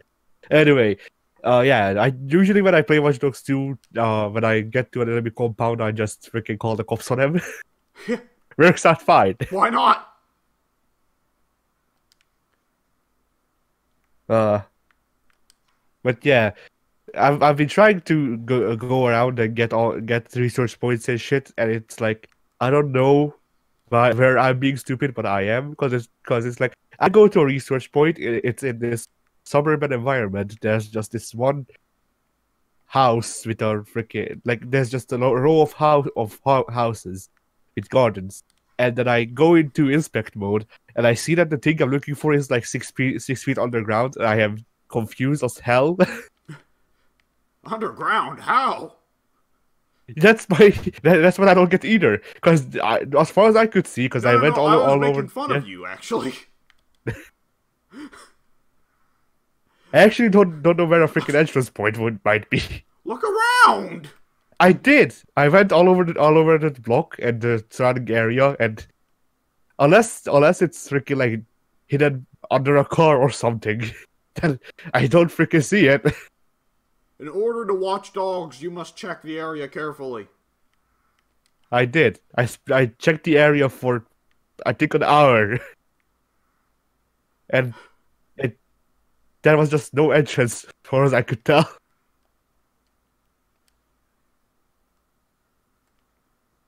Uh. Ah, man. You still. But did it make you more hype for Legion, though? No. Oh. If anything, it would be less hype for Legion. What? How can you get less hype for Legion? You're, you're too scared that Legion will have basements.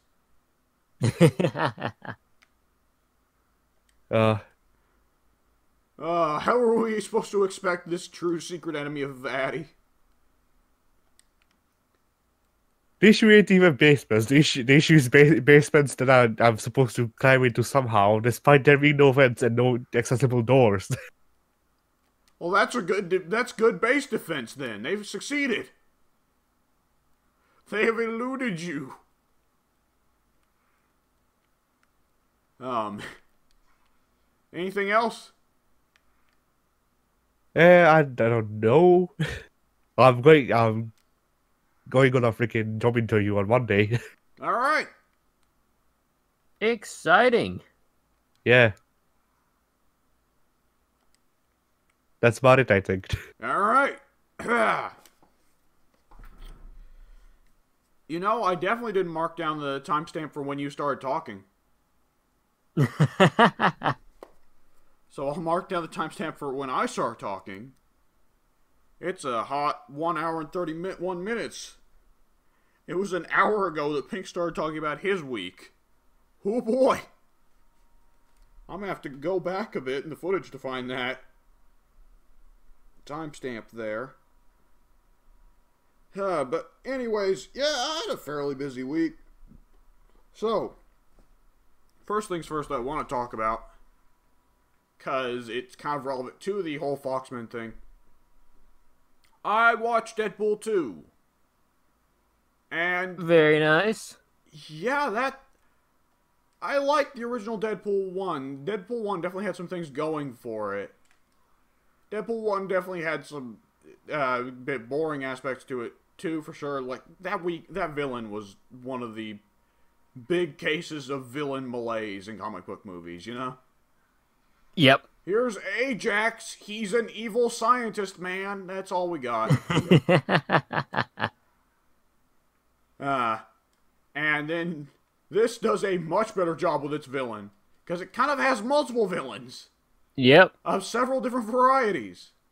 You want All your, the varieties. you want your sympathetic villains, your villains that aren't actually villains, your villains that might be worse villains some other day, so they need to be dealt with now. We got all kinds of villains. Uh, and it's the crazy thing uh, I, I thought walking away from it was that was a better X Men movie than any of the actual X Men movies. Yes. And I, I, I initially thought that while watching it as a joke because there was so much focus on Colossus and this movie that there wasn't in the first movie. Though it felt like Negasonic actually got way less focus in this movie than she did in the first one. Yeah, I'd agree with that. I it, it, put- it felt like the extent of her gag was, hey, she's got Yukio, who is her complete opposite, but they're dating somehow. Yeah. But, I mean, I, I'm a little sad about that. I did like Negasonic. But the focus on Colossus and the whole thing of the X Men felt like a better X Men movie. Fucking the villain, who I'll get to in a little bit, was better X Men the entirety of the talks about mutants were better than X Men movies actually handled it. Because at the end of the day, while it was frequently talked about in the movies that mutants were discriminated against, the focus wasn't on that. Mm-hmm. The focus was on either Wolverine and Cyclops fighting over Jean, or, oh no, Magneto is the evil mutants. But he might be justified because Hitler, but no, he's not justified. In fact, he's coming quite close to being worse than Hitler. He may actually cause the end of the world. Whoops. It's like, ah, oh, well, okay. I, I guess we weren't interested in having a really an interesting story to say, were we? And then Deadpool 2 very much is much harder on the anti-mutant prejudice than X, than any of the actual X-Men movies were. It's nuts. And I think it's really strongly in its favor, especially considering Deadpool 1 barely was connected to the X-Men universe at all. right. And Josh Brolin, great as Cable. I hope that they're somehow able to keep him around as Cable into the MCU. that would be hilarious for him to. Yeah, just as he stops being Thanos, he goes back to being Cable. That guy's got his job secured. I dig it. He was a good Cable. Very.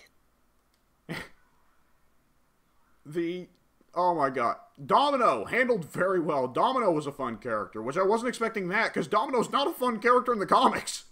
Right. She's kind of boring. Mm-hmm. Like the, that entire stretch where Deadpool's like, "That's bullshit. You can't just have luck as a superpower. That's the dumbest." And I'm like, "Yeah." And then she actually has it as a power, and it's oh no, it's the most OP power ever. she can't die. Oh man.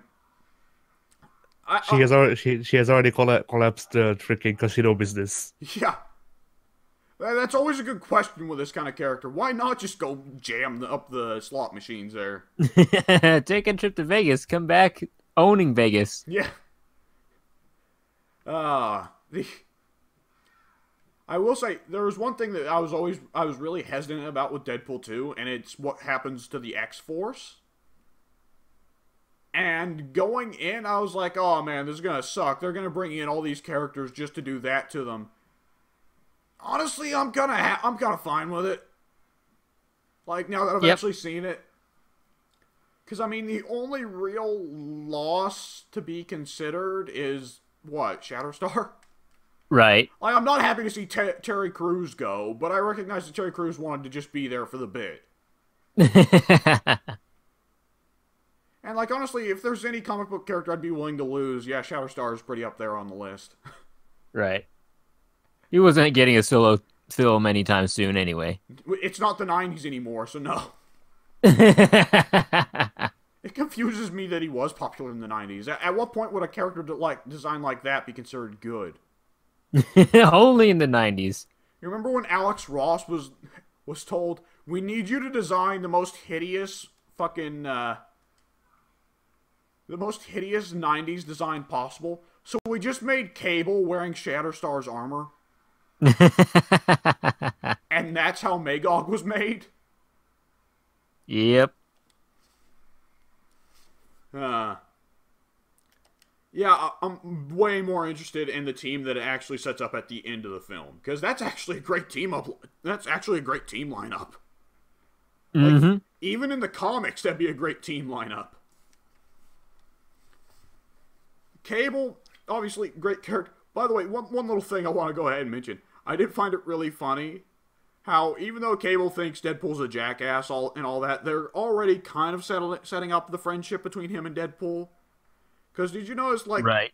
Deadpool starts uh, saying that the peop- the people running the academy are pedophiles, and he doesn't have any evidence. He's just saying that because they're abusive towards kids. But despite him saying that without any evidence, and Cable otherwise considering him an idiot, Cable completely agrees with them that they must be pedophiles. Clearly, the fucking part where the administrator runs away and Cable just watches him go and goes, he even runs like a pervert. Ah. and oh boy, Juggernaut. That I forgot that that was one of those beautiful moments where it's like in- in my heart I had forgotten that I was an X-Men fan. And my family had forgotten that they were X-Men fans once upon a time too. And then Juggernaut came out and it's the one of the only times in, in watching any movie that my entire family has popped for a movie moment when Juggernaut comes out. And while I am sad that we never got a I'm the Juggernaut bitch, I, I respect that they're not going to re- rehash what X3 did. The, o- True. the only good moment of X3. and instead, we get the also great, yeah, I'm going to rip you in half now. I don't know why I find that that line to me was one of the funniest in the movie just for how casual Juggernaut is about it. It's just what he does. And then it lit, led into the the dumbest and best gag in the movie, baby legs. I've never felt more dumb laughing at anything than laughing at baby legs as hard as I did there. Ah, That's a good movie. Yep, I quite enjoyed it. Oh, and you know what really needs to be appreciated? Fucking, Hmm. fucking killing the Baraka pool. So, Addy, you know Baraka pool, right? No. So, they introduced Deadpool way back in X Men Origins Wolverine, but in the movie they have him die and his corpse gets reanimated as basically Baraka but can teleport. It's the Ah. dumbest thing. He's Baraka, legitimately. He's got swords coming out of his arms and his mouth's all fucked up. He's Baraka. I see. And they call it Deadpool and insist it's Deadpool. Because Deadpool wasn't edgy enough, I guess. and in this the finale of Deadpool 2, Wade gets a time machine, uses it go- to go back in time and kill Baraka Pool in X-Men Origins Wolverine. And, Oh. And Hugh Jackman Wolverine just stands there and watches. Oh man. I also appreciate that they actually undid a death like a proper comic book movie should. Now you now you understand the plight of the comic book audience there. That, that death at the start of the movie completely meaningless. Fuck it. The death in the middle of the movie also meaningless. The death at the end of the movie. It's the beauty of time travel, man. None of the deaths have any meaning anymore. Oh yeah. Whew. Good ass movie. Let's see, what else did I do? I decided to put a little bit of time into League of Legends because I'm just going around and doing the rounds and checking on all the uh, MOBAs. Because our scope is decidedly limited to just Dota. Not Dota. Yeah, yeah, we played Dota 2. Fucking brain. our scope is decidedly quite limited to Smite, and that's it. And yeah, League's a different beast from Dota and Smite, that's for sure. One thing I noticed Dota 2, your auto attacks are quite beefy. In Dota 2, it's actually perfectly reasonable that the game will start, and if you fuck up your laning, then the other guy could just beat you to death with his bare hands, and that's it. Which builds a certain atmosphere of fear in fuck in uh, Dota 2 that is not present so much in Smite and League. To make up for Except it, with hunters. yeah. To make up for it, in Dota 2, there is your mana meter recharges very slowly, and you get very little of it to begin with. So there's way less abilities shooting around. But the abilities do feel pretty meaningful. League's the complete opposite. Generally speaking, there are only a select few characters for whom you need to worry about their auto attacks. With that said, mana recharges very, very, very quickly. And abilities are shot out all the time. And some characters are very aggressive about it. And it's such a weirdly different beast. And Smite, I think, is kind of a comfortable medium between the two. Wouldn't you guys say that? Like, Smite abilities or auto attacks can be deadly, depending on who you're facing. Yeah. Yeah. And for some characters, both are deadly. Yeah, Ullr. Yeah. Uh, it's an interesting and kind of different play field. With that, with that said, I'm playing through League's tutorial again because it has a mandatory tutorial, of course. Boy, uh, League's League's AI is different from Dota's. In both cases, I played against AI because fuck messing with either of those communities. They are cancerous. But Dota's AI is, uh, well, they're not terrifically good at fighting, but you know what they're very good at? Forming herds. Death ball. Yep, death ball. You with Dota, you have to stick to your teammates once you get past like level five, because at level five, the entirety of the bots just form up into a ball of death. And good luck with that, because your team's bots do not have that skill and will spend their time jerking off in the jungle. League does League does not have that problem. In fact, not only is the AI incredibly incompetent, the AI, even in the late game, fails to really learn to push. So I'm in the late game in the fucking League tutorial as I forget who, Drawman or somebody. And I'm sitting there with a hot 27 to 0 KD ratio, and I'm like, you know what?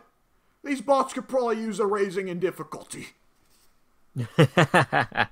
I'm. You know why the you know why the bots don't know how to push?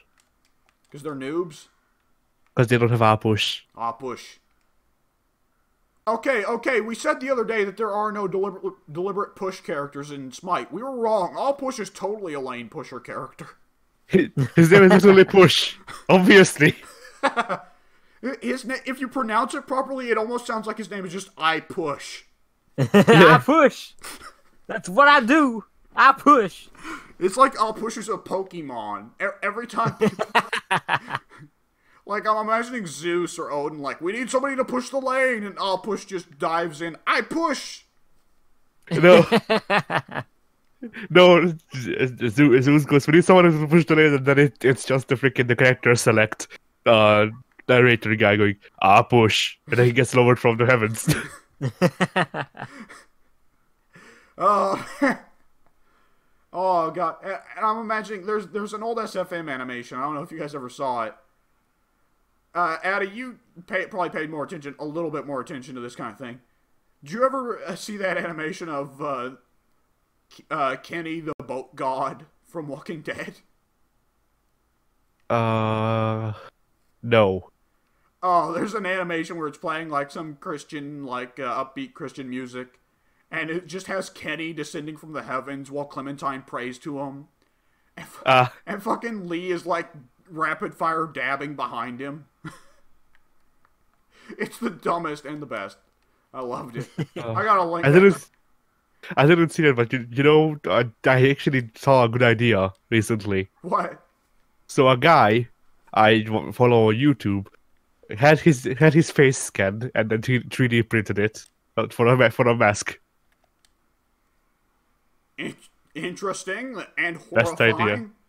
Yeah, Yes, I would. I would definitely. I would definitely love doing that. I'd be on camera twenty four seven. Oh, man. Uh, There's Like, he- he of even- he- that we need to look into. he even painted it so people. Uh, his screen name is Jezza, so like people are calling him handsome Jezza. Because like he painted it to, to look like him exactly. Ha! Uh, God, that sounds awful. I don't, I just I just love the idea of getting your face printed and then or getting your face scanned and then print 3D printing it so you can wear your your face as a mask while also not showing your face. I I love the concept.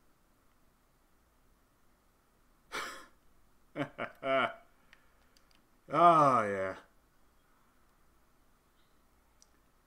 I was going to say something. I had an idea.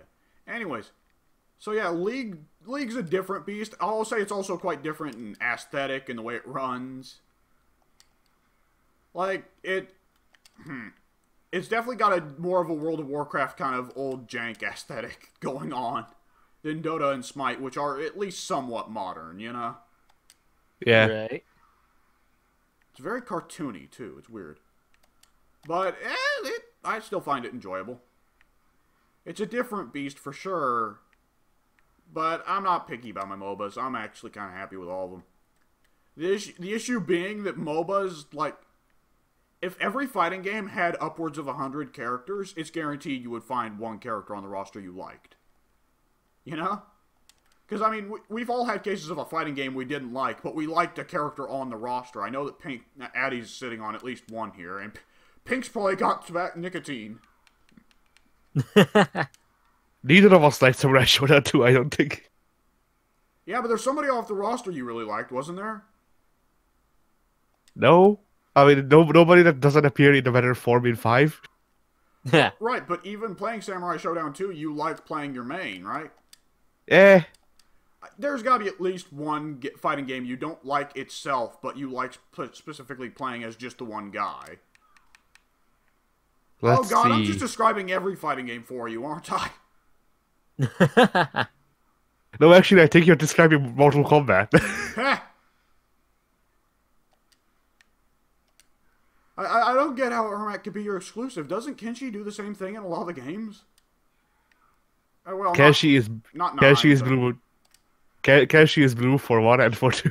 Oh, for fuck's sakes! That's the- That, that's the that's the funny part. And like the thing is, I'm pulling this is blue shit out of my ass because I never even think about it.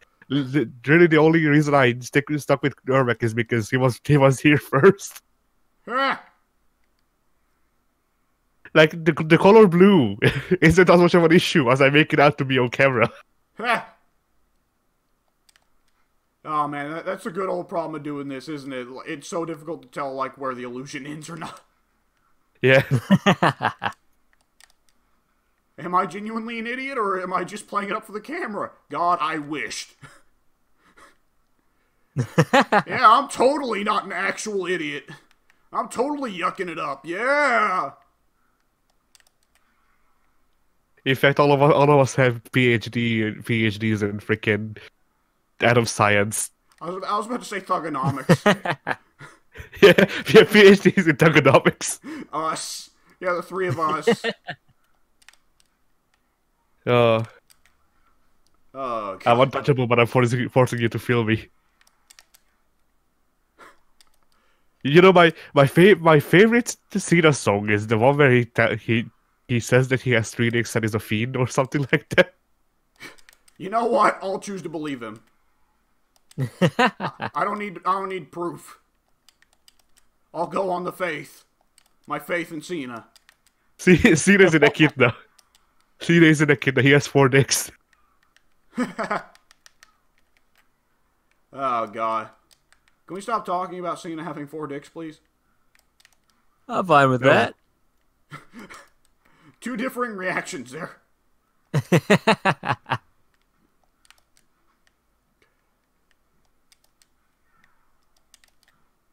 Oh, okay. What was I going Anyway. to talk about? Right, uh, Brain. So yeah, League. League is good. All MOBAs are good because when there's just that big of a roster, you're going to find someone you like on the roster. Whether you like weirdos or you like conventional guys, you're gonna like somebody. And there definitely are not as many weirdos in League as there are in Dota, but there are more weirdos than there are in Smite, so. Because, I mean, how many weirdos are there in Smite? There's Jormungandr. All of the stance switching people, Morrigan. I don't know. I don't think stance switchers are that weird. I don't know. I don't play a lot of MOBAs. so Morrigan's definitely a weirdo, though. yeah, Morrigan is definitely a weirdo. Uh, and Pink, you who got any examples of weirdos that you can think of? Uh, I don't know where the threshold for normal begins and ends. I would consider the threshold for nor- normal the five starters. Is Sol's a mage, but she is very different from all the other mages, so she kind of falls into that category for me. Oh, yeah, Soul is definitely a weirdo. Chronos, I suppose, just because he's actually a hunter, but he's a mage. Uh, yeah, Ao Kuang, mage assassin. Oh, wow. Oh, Jean- Ao Kuang's super weird. What's- Jonki. Wasn't Hachiman weird? Ha- no, Hachiman is not weird. Hachiman is a pretty basic hunter. The only weird thing he has is that he has a he has this freaking flag. Right? And he's Yeah, I've never played as Hachiman. I did. I I made him before ruler, so Yep. And Hachiman's thing was he gets the katana short range thing, right? Yes, Right. he has a he, he has Susan's combo. Ah, right, right. But yeah, a lot of the Smite characters are really conventional. And I mean, hmm. I guess I guess a weirdo is Ku- Kukulkan, sort of, Kukulkan, he doesn't- he doesn't a weirdo, yeah. because he he has no mana. He has no mana. He has no freaking god off in West Africa. Yeah. Freaking know. Can we count? Should we count uh, Nuwa as a weirdo? Because just having minions doesn't seem like it'd be weird, but her ult is so funky. Her But- ult but- is pretty funky, but all of her other abilities seem to go well with each other, so I don't know. Well, the mist Yeah, is that I- funky too. Yeah, but but if you if you count her, then I feel like you have to also count anybody else who has who can fly. So Thor, Thanatos, uh, freaking Chernobog. Well, then you get into the thing of like those guys are huge weirdos in any other MOBA, but flyers are actually a pretty common thing in Smite. Right. So it gets into the ar- uh, becomes a different argument. Are like, are we going to consider? Yeah. Other people who can't fly the weirdos. Yeah, and I mean that, that that's going to even vary further with like Dota doesn't have skill shots. Like that's a wild thing about Dota. Th- those just don't exist. They're a League and Smite thing. Which you guys know what I'm talking about skill shots, right? Yeah. Do, do we count Ratatoskr as a flyer if he just summons a tree? I, I count Ratatosk as, a flyer. I do. It's- It- it's fu- it's functionally identical, you know. okay, you want to know a, a weirdo? Sylvanus. Sylvanus is a fucking God- weirdo. Guardian Hunter. Amazon Cub's a weirdo. Yeah, now that we're talking about it, Yeah. Smite's actually got a lot of weirdos. Uh, a- anyone who's like, I'm going to build a fucking fort. uh, Kumbhakarna. Guardian Assassin. Uh, it- well, I mean, the thing is, a lot of guardians can be built as, built as assassins. Yeah. Geb, Geb, best assassin. No, do you, you want to know who's, who the best assassin is? Big Kappa. Big Kappa, Because Turtle that, cause that boy, yeah, because that boy is the best. Is the best in every class in that game. Ha, Because that boy, because that boy is the best healer. He he has healing abilities locked behind the paywall. Gotta throw those pennies at your console. Yeah, you need you need to you, you need to insert a quarter into into your Xbox's you event put it through the slot. disk drive. No, in the vent slot. You insert it through the vent slot, and then it registers, and you heal all of your teammates. ha. I'm, I'm imagining like pro league Smite players have to just like constantly have fucking jamming coins in there. They've got a stack of quarters next to their keyboard. Hey, you don't know that they could play on on control. Yeah, they definitely play on keyboard.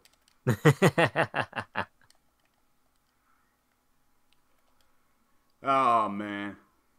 I suppose I should move on to something else I've played. And what else did I play? Ah, fuck. Uh, yes, I did play the ori- I've played Dead Rising HD remake, not HD remake. God, I'd love for there to be an HD remake, but no, it's just a remaster on PS4. And as a matter of fact, I'm playing it right now, though I'm taking it pretty casually. And yeah, this is still the best Dead Rising. This was like I I don't have either of you guys played Dead Rising, the first Dead Rising. No, I've not played the first one. I do own the second one. How much time I did you have put in the second one? Uh, not very much time, I don't think. I know for a fact that I've never actually completed the story. Yeah, I wouldn't recommend it. I played- I played Case Zero, and then I didn't like the controls, so I don't, so I uninstalled. Case Zero is pretty good. I would say Case Zero is the best part of Dead, Dead Rising 2. It, it's kind of a Ground Zeroes case where they should have just left it in as the prologue. Eh, whatever. The mm. so Dead Rising is like the one of those series where I have a very, very, very controversial hot take on it. Which, by the way, I found out the other day. Hot take does not mean controversial; it just means new. Ah, So all the times I've said con- hot take to mean I've got something controversial to say, I'm actually super wrong. so here, here's a hot pot. Here's a hot pot. Eh, yeah, it's the take part that's wrong. Uh, The the uh, what was I going to say? Right. So yeah, I just accidentally walked into a boss fight, so I'm going to be doing that for a little bit. So now I'm going to be occupied. yeah. Oh God. So Dead Rising One's got some serious flaws. I just need to go ahead and preface it with that. First and foremost, I'm sure you guys have heard about the infamously bad Survivor AI. Like Dead Rising Yes. One is the king of bad escort missions. Like, the AI in Dead Rising 1 is the absolute fucking worst. Like, genuinely, it's. Like, they walk head on into crowds of zombies wanting to die. They're just like, kill me, please. I, Give me the release of death.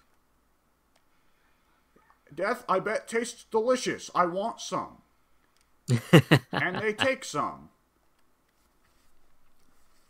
And but it's definitely better than the other Dead Risings in other aspects. Chiefly, Dead Rising's the only Dead Rising 1 is the only Dead Rising that took itself seriously in some manner.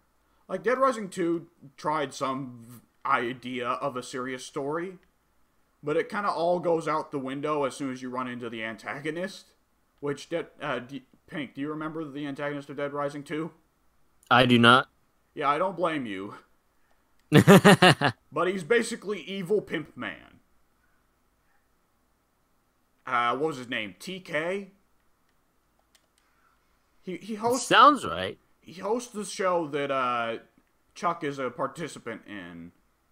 Yeah. Yeah, yeah, he's definitely TK. But he, yeah, he was a very much a villain that just shows up and he's like, oh, oh yeah, I'm TK, money, and that's it. Character done. Which is a pretty solidly lame villain, I gotta say. The Dead Rising 1 has a lot more serious of a plot. With that said, it's kind of a dated plot in an odd sense. Dead Rising 1 is very much a product of its time. It is a game that just oozes war on terror. with that said, I think if it came out again now, people wouldn't have a problem with that because people now are just as cynical of the government as they were then. But Dead Rising 1 is very much like, oh, the government's evil. Just super evil. E- gigantic dicks. They have a somewhat sympathetic motivation for it, which is better than Dead Rising 3, which is just mwahaha, evil government bucks and all that. But yeah, the the story is uh, a product of that, and it, it- there's also a thing of it's very, very, very blatantly based off the movie Dawn of the Dead, without actually being a Dawn of the Dead adaptation. And that can be a bit of a problem sometimes. Particularly Dawn of Dead, Dawn of the Dead. You guys at least have heard of that of the original Dawn of the Dead, right? Yeah. The classic zombie movie. Well, Dawn of the Dead is famously about basically consumerism. The zombies are basically big symbolisms for the American people just eating up whatever garbage gets fed to them and constantly just eating and eating and eating and eating and eating. And yeah, Dead Rising 1 very much follows up on that, though it being Japanese, it has a more distinctly Jap- Japanese aspect of Americans don't really respect nature or the way things should be, and instead try to force things to be the way they want them to be, and all that. And it has actual serious themes. And Pink, I think you put in enough time with Dead Rising 2 to know that Dead Rising 2 does not. Dead Rising 2, while the, the story can be summarized as, oh, TK, big money, oh, money, oh, evil, money, evil. And the gameplay can be summarized as, oh, man, I can wear a fucking man thong and uh, ride a little children's bike and also carry a lawnmower and that I beat people to death with. And that's the game. And Dead Rising 1 has some wacky aspects. I'm not going to pull some bullshit and act like Dead Rising 1 was much better in that aspect. I will say it was better in that aspect, but Dead Rising 1 had some stupid shit. The. Hmm. part of my whole thing is not only that it took itself more seriously for a lot of the boss fights and the main plot and all that, but here's a here's the real controversial part because all that stuff I said previously there'd be people that line up with me on that other than of course the people who think that Dead Rising 2 should just stick to being a dumb comedy game but Dead Rising 1 has the infamous timers which I'm sure you guys have heard of I actually have not. What is that? I have. every mission in Dead Rising 1 operates on a very very strict timer system every mission is a timed mission all of them That doesn't sound good. even though it's a free roam world, in order to get to every side mission, you have a time limit before you can do it. I mean, not not before you can do it, before, before it just ends. Before it's just assumed that Right. the side mission ends because the characters died. a lot of zombie Super Mario. yeah, kind of. Tec- technically, you actually can't lose. If you if the time up ends up on the main mission, then it will give you the selection like load previous save, quit, or return to game. And you can just keep the game going well after you've lost the main quest line, which is kind of interesting. but all, all main missions, all side missions were missable content. And on your first run, it was guaranteed that you were going to miss a big chunk of content. At the time, this was thought of as the game's greatest flaw, without a doubt. With me looking back, from a game design perspective, it really adds a lot of tension to the world and a real weight to your decisions. You have to think about things before you do them. You can't just be like, all right, I'm going to go do all the missions. I'm just going to get them all done. Yeah. Then I'm going to yeah, no problem. then I'm going to strip naked and fight zombies with kung fu because that's that's, that's what Dead Rising 2 and Dead Rising 3 are. And I really don't care for it. And I mean, I think there's something that can be said. I think it might be better if they tried to do that again now, because now Persona is huge in the West. And ati, how much missable content is there in Persona? Oh boy. All of it! All of the fucking side content is missable. Nine- 95% of the game is missable. Yeah. And I think people will be more com- more comfortable with that. I think it gives a certain air to the game that most other zombie games don't. Because I mean, the thing about zombies is in video games is that for, at first we were rolling with the idea of them being horror, and then past a certain point they just became a power fantasy. You know, I want to just fucking murder tons of zombies with my bare hands like a badass. And Resident Evil emphasized the horror by making the zombies eh, absurdly tough and take a shit ton of bullets while you don't have many bullets to spare. Dead Rising was a was a good bit less horror because, well, Frank is a fairly powerful guy and he can dress himself and the zombies up in wacky costumes.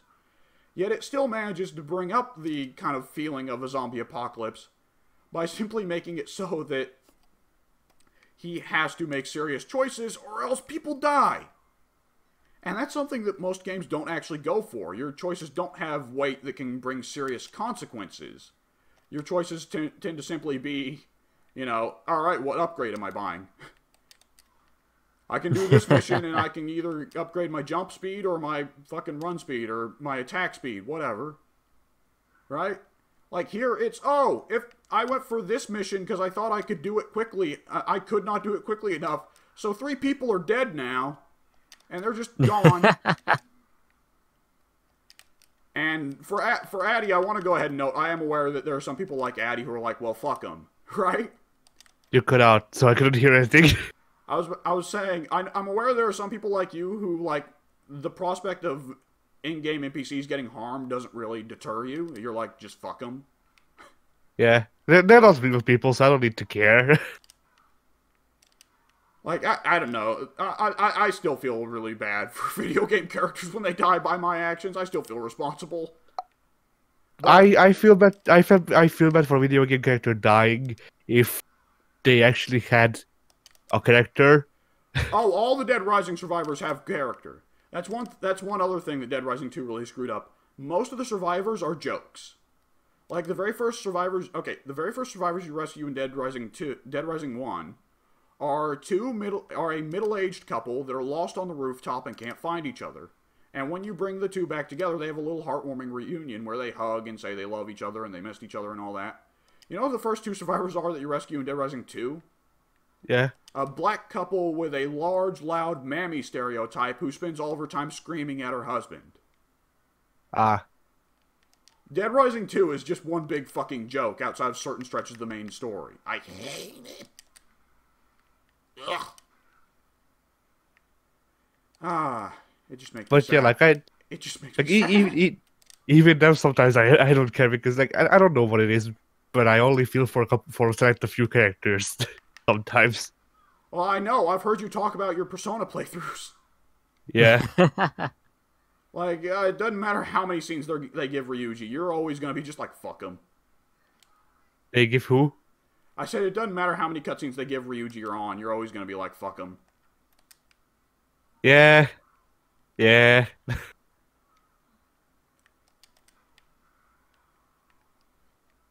Ah, but in Dead Rising, survivors very much matter because first of all, Dead Rising has a leveling system, and getting the level, getting all the Sorry. levels unlocks not only a shit ton of moves but upgrades your stats as well. And the best way to build experience is rescuing people. Other thing, at the end of the at the end of every playthrough, it gives you a grand big score number, and the bigger, the more people you rescued, the bigger your score number. So, if you are just like fuck them, then yeah, say goodbye to your store, your score. I don't know. I feel like uh, I'm, I'm I'm rambling here about a game that I love, particularly because this is the kind of thing. This is the kind of thing I feel like if Mike were here, we me and him would just spend an hour talking about this game because you guys weren't there for the original podcast. There are long stretches where me and Ad- me and Mike were just like, "Oh, we both love this game. Let's talk about it for a fucking century." And everybody else in the podcast just kind of has to sit there. Sit there and deal with it. And I'm trying to avoid that, so I'll just go ahead and wrap it up with one thing. Dead Rising does re- represent an interesting game design philosophy to me, and it was one of the first major like games that were of the Xbox 360 generation where realism was more important than gameplay. Like I would say that's a general theme of the Xbox 360 generation. When you guys say that, I'm No. inclined to agree. I don't I don't know. I don't think I I don't think Mass I know enough of yeah, I never played Mass Effect, dude. and neither did I, but I, from what I've heard, there's not much to play. uh, Ah. it depends on which one. Mass Effect 1 is a shitty shooter RPG. Mass Effect 2 is an okay third-person RPG. Mass Effect 3 is actually a pretty good third-person RPG, but it has entirely forgotten the fact that it's an RPG at that point. I just meant to command my uh, survivors to move to a certain point, and instead I screwed up the input and just sent them to go. Uh, I just threw my ca- carton of orange juice. nice. But there are certain aspects of Dead Rising 1 that, even though a large stretch of it does try to be realistic in the sense that it was common at the time, it still doesn't feel like it's letting the gameplay suffer for it. There's still some video gaminess to this video game. God forbid, I know.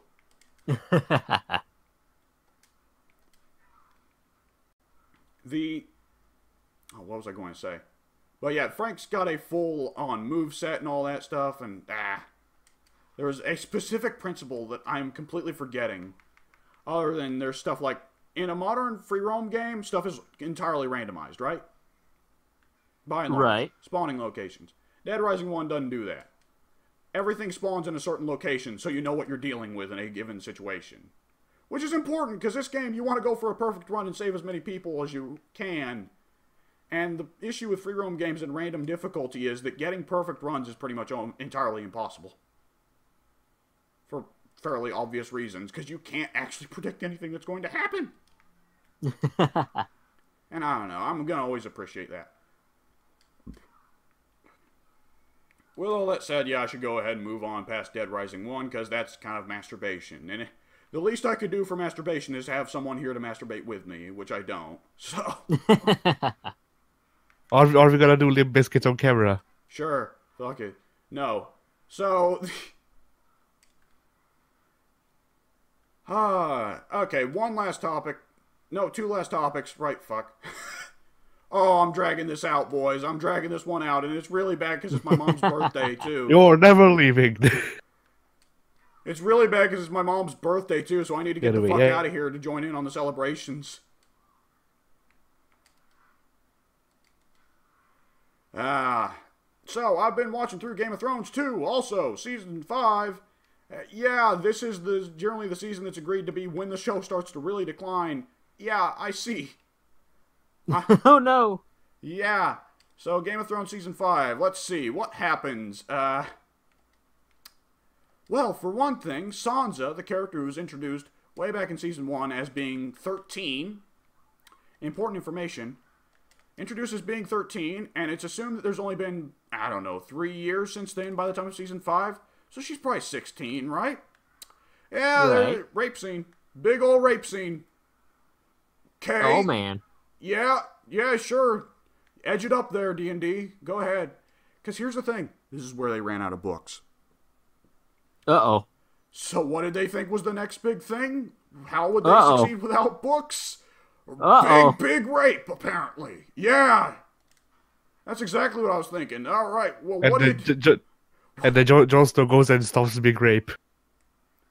Yeah. Well, Jon. Yeah, Jon Snow definitely gets more heroic as soon as GRRM is done. There, it's it's worse than it's even worse than that. Season five was also the season where GRRM stopped being there in person to advise the stuff.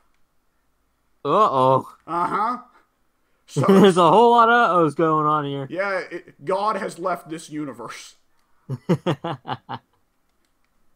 Why have you forsaken us, GRRM? The there's something else it did that really pissed me off, and now now I'm angry that I'm forgetting it because now it makes me look like a gigantic hack.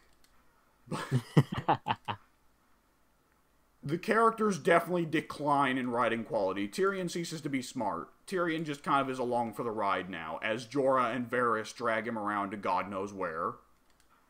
Oh, my boy. Jorah's character can now just be limited to God, I love Daenerys, she's great, and that's it. Which is a bit of an oversimplification. Most of the characters have been oversimplified, really. There are several characters whose main strength was their intelligence. And while GRRM was pretty good at writing smart, witty characters, D&D aren't. So characters, not only Tyrion, but also Olenna Tyrell and Cersei, have suddenly become a lot more stupid. And it's really sad in uh, Olenna Tyrell's case because she was the badass grandma. Oh man, the the there's only, and the wild thing is looking at the arcs that are going on in the story right now. We got all right. Stannis is visiting with the Night's Watch, so we're gonna have one of the kings actually appreciate how much of a threat the night the White Walkers are. Oh no, wait, never mind. Stannis just wants to fuck off and uh, go fight Ramsay. Okay. What was the point of having him come north then? Because you see, in the books, Stannis goes north because he's the only king that admits that the White Walkers are a threat. But D&D famously hated Stannis as a character. So when they get to the point in the books where Stannis gets off the boat and gets to the north, well, that's where the book stopped. So, as soon as they take over, Stannis is like, nah, I decided I was coming up to the north for fucking no reason.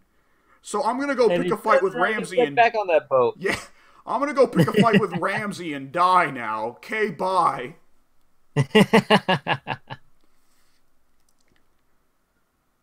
And then there's the storyline of Sansa goes off to get raped by Ramsay while Theon watches the poor bastard. We got the storyline of Arya is just sitting in a temple and getting the shit smacked out of her with a stick because she can't learn how to be a ninja.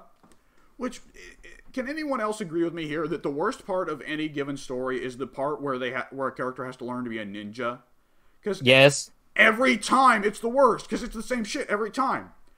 It's like Mr. Miyagi if Mr. Miyagi had no heart, you know?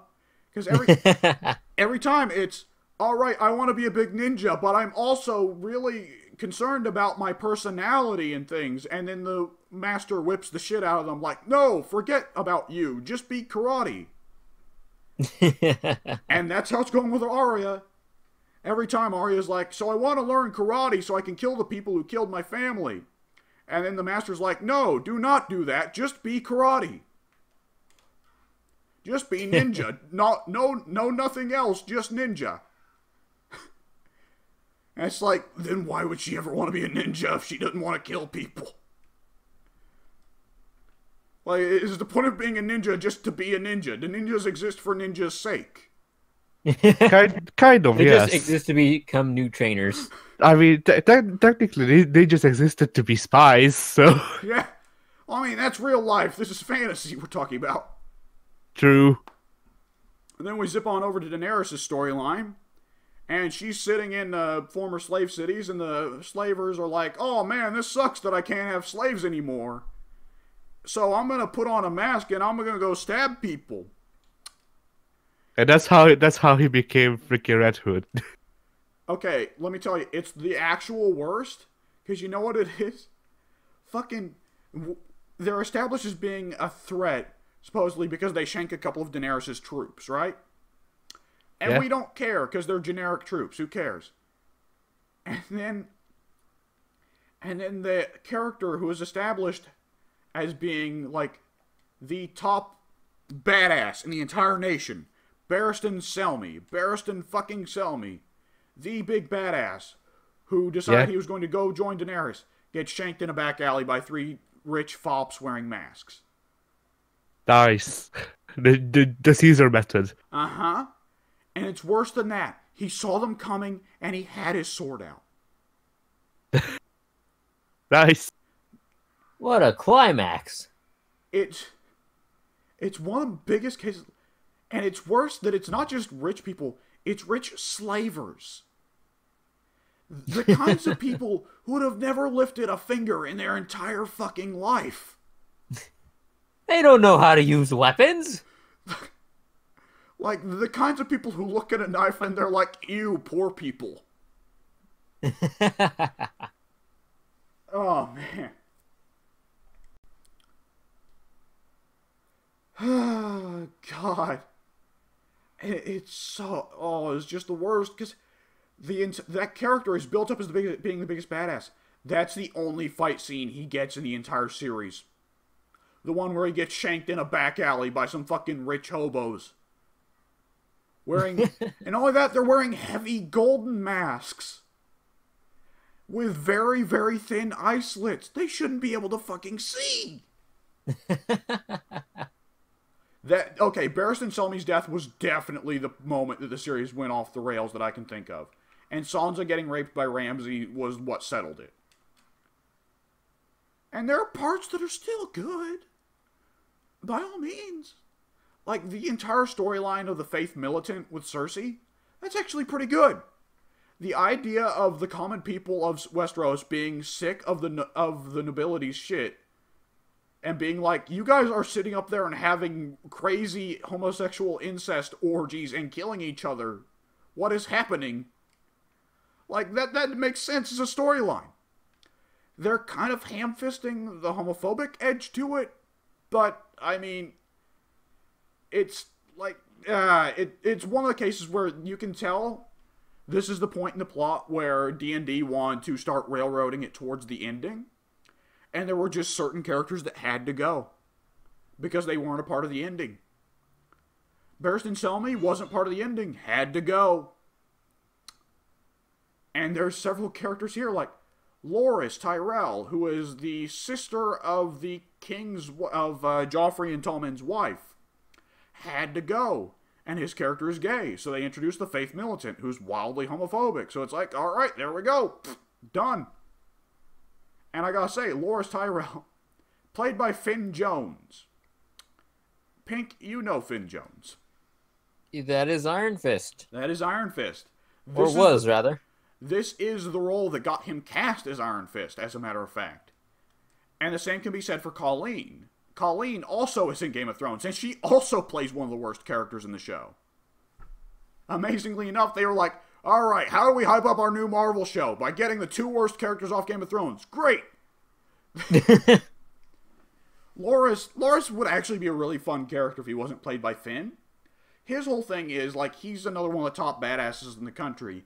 He is the legendary Flower Knight that every girl in the country wants because he's you know he's young and he's handsome, but he's a badass and he's a knight in shining armor. and also in season two, closeted gay. Whoops. There's actually several great scenes for Sansa of her trying to get get some with Loras, and Loras is just like no. With that said, Finn Jones has always been a terrible actor. I don't know what they were thinking for Iron Fist, because he doesn't. I don't think he's ever met a gay person in his life. Because every scene that Loras is in, if he has to share it with a woman, the look on his face, he's like, every scene, he's like, ew, cooties, in reaction to every woman he sees. And I'm not kidding. His face pinches up like he's having a hard shit. in reaction to seeing Cersei or Margaery or Sansa. And it's like, Finn Jones, have you ever met an actual gay man? Because I don't think their fin- faces pinch up like they're having a hard shit when they see a woman. How can you prove it? I, How can you? How can you? How can you? How can you prove that gay, gay people don't have an allergic reaction to women? Because I have a gay uncle who's very close friends with my mom. Fuck you. He, he, he takes daily medicine to try to do an allergic reaction. he takes that Claritin. S- Women need a exude shot a of Benadryl. pheromone that is only allergic to gay men. Yeah. Um.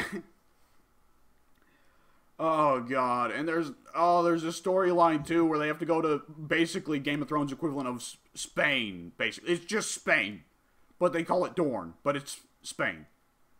They might as well not even hide it. But they go there, and the entire plot is like Jaime's there to rescue his and Cersei's daughter, though of course they don't officially acknowledge it's Jaime's daughter because you know incest. And also, Oberyn Martell's kids are really pissed and they want to kill the daughter. That entire storyline exists because Oberyn Martell was a really popular character out of season 4, who unfortunately did not survive season 4.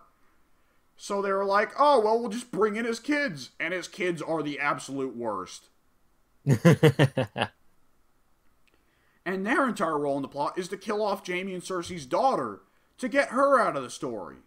Because they can't have her there because it's important that Cersei become queen, and she's probably higher in the succession lineage than Cersei is. Like, it's one of the most transparent cases I've ever seen of we need to get to the finale now. Go, go, go. we need that. It's reverse plot armor. Yeah. Except for the characters who need to get to the finale. They survive shit they shouldn't. Like, one of the great things about the first four seasons of Game of Thrones is being a good guy did not automatically guarantee you the victory. People didn't just get away with shit because they were the good guy. Like, Ned Stark and Robb Stark both did some really stupid shit despite being good guys. Oberyn Martell did some really stupid shit despite being a good guy. And they all paid the price for it. But then in Game of Thrones, people are just making the same mistake, and it's like, yeah, who cares? All right, no big deal. Yeah. Like Ned didn't pay any attention to politics. Well, he gets killed because he got out politicked by people who were actually political. And then Jon Snow makes the exact same fucking mistake in uh, season 5 where he decides to leave the wall while he goes to visit the wildlings. He leaves it under the control of notorious jackass Alliser Thorne, who immediately goes about the process of persecuting Jon Snow's friends. And like, if this had happened in the first four seasons, Jon's would have Jon would have came back to find his friends dead. But no, this is season five, so fuck it, they're fine. Ah. Ah, yeah, yeah, it, it's start, it's starting. It, it's bad now. I know it's only going to get worse once we get to season eight. Like, oh, oh, God. And the first four seasons were so good. And hey, you know what? It's the Steam sales going on. I picked up Dragon's Dogma, didn't get around to playing it. Picked up Doom 2, got around to playing it. Yeah, it's Doom, it's good. And I- Is it two? it's a it's a two. It's a tomb. Oh man. There are there are two two dead bodies instead of one. Oh no. God, I, I love the Doom guy's motivation throughout the classic Doom duology or trilogy, if you include 64, is that they killed his pet rabbit. Those fuckers. ah. And I picked up two Total War games I didn't have Total War Empire and Total War Medieval 2. I did not put any time into Empire yet because I wanted to go back to Medieval 2. Because I did, in fact, pick up Medieval 2 at a previous date and thought that it was too jank. So I refunded it through Steam's wonderful refund policy for full cash back and all that. And I decided, you know what? I think I gave that game a little too hard of a time. I picked up the game again while it was on sale for six bucks. Yeah, I gave that game too hard of a time. It's a fucking good game. The what was I going to say? One thing about the uh, about the game, it's got some things that are better than the modern Total Wars. It's got some things that are worse. A big part of Total War is managing your budget. And a big part of that is every unit has a certain amount of upkeep, a certain amount of money they must be paid every turn, in addition to the um, the uh, direct lump sum that you got to pay to have them recruited in the first place. In the later Total Wars, you you have a little money counter either in the bottom right or in the top center of the screen that just straight up tells you how much money you have in the bank right now and how much money you are uh, getting in terms of income. So the amount of money you're making sub- minus the amount of money you're paying per turn. Total War Medieval 2 doesn't have that on screen. You have to te- you have to open up a little economic sheet to look at it. Oh no. Yeah. You get used to it, it just becomes muscle muscle memory past a certain point, but it is an annoying pain in the ass. I'd rather have it on the screen at all times. Thank you very much. Yeah. But it does have something that the newer Total Wars don't, and that it actually includes the lump sum expenditures you have for this turn in the uh, change amount for each uh, turn. So where before it's like, well, I bought a shit ton of buildings and they were each like a thousand gold each, but I don't know how much that actually added up to because I wasn't keeping track of that shit. So I don't know if I'm in the if I'm in the black or I'm in the red for this turn. Whereas Total War Medieval 2 actually includes that, so that's awesome.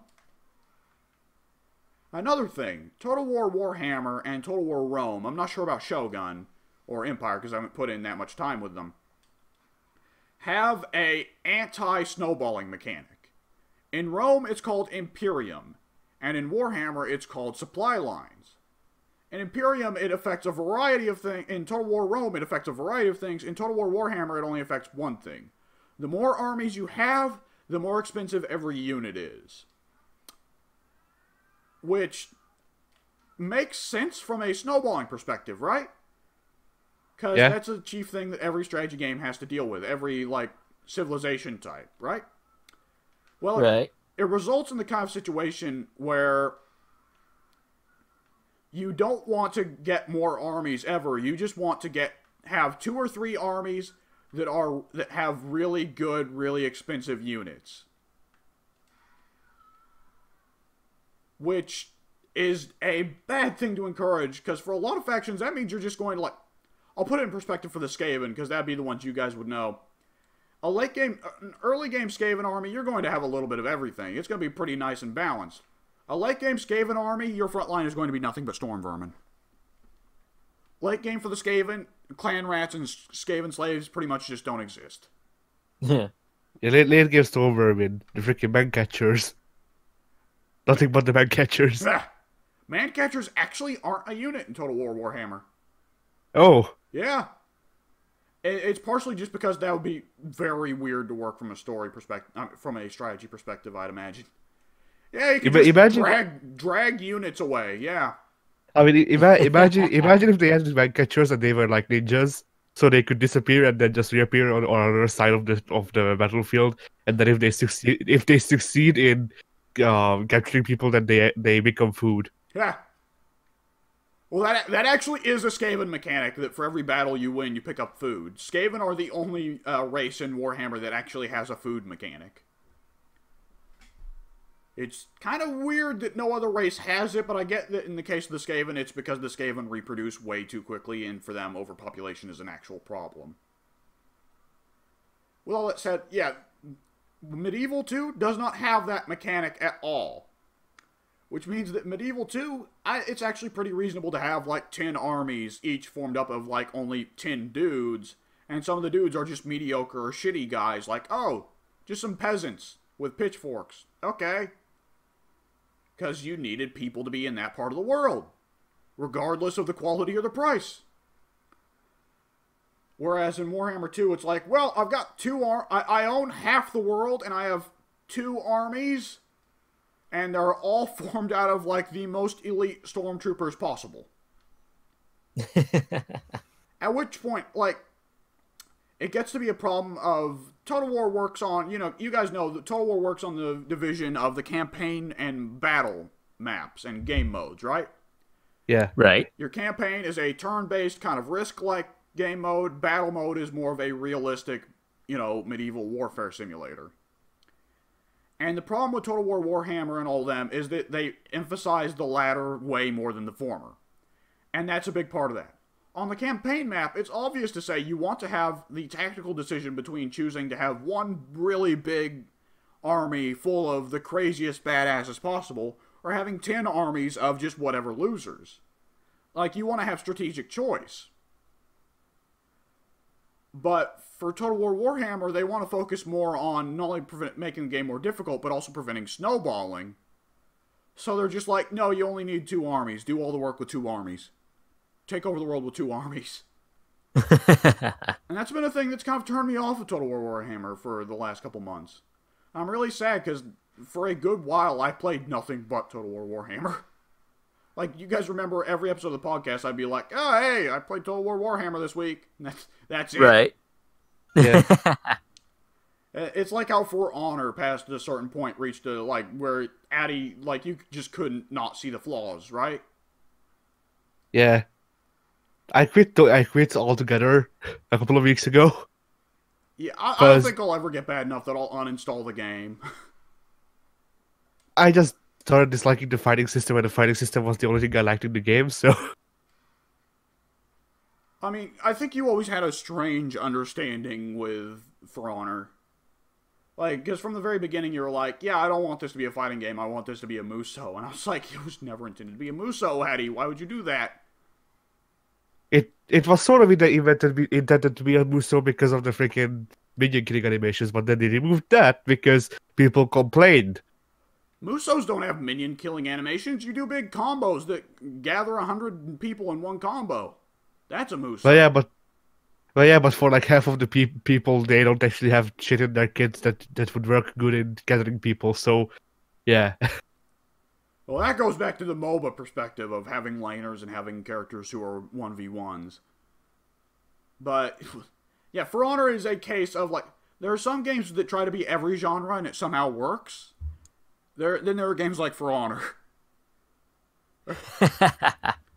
Where it's like, I popped in and I loved the fighting game aspect. I didn't think it worked as a MOBA. And, like, ati's like, yeah, I love the Musou aspects. Fuck the rest of this game. So yeah, weird. Video games are weird.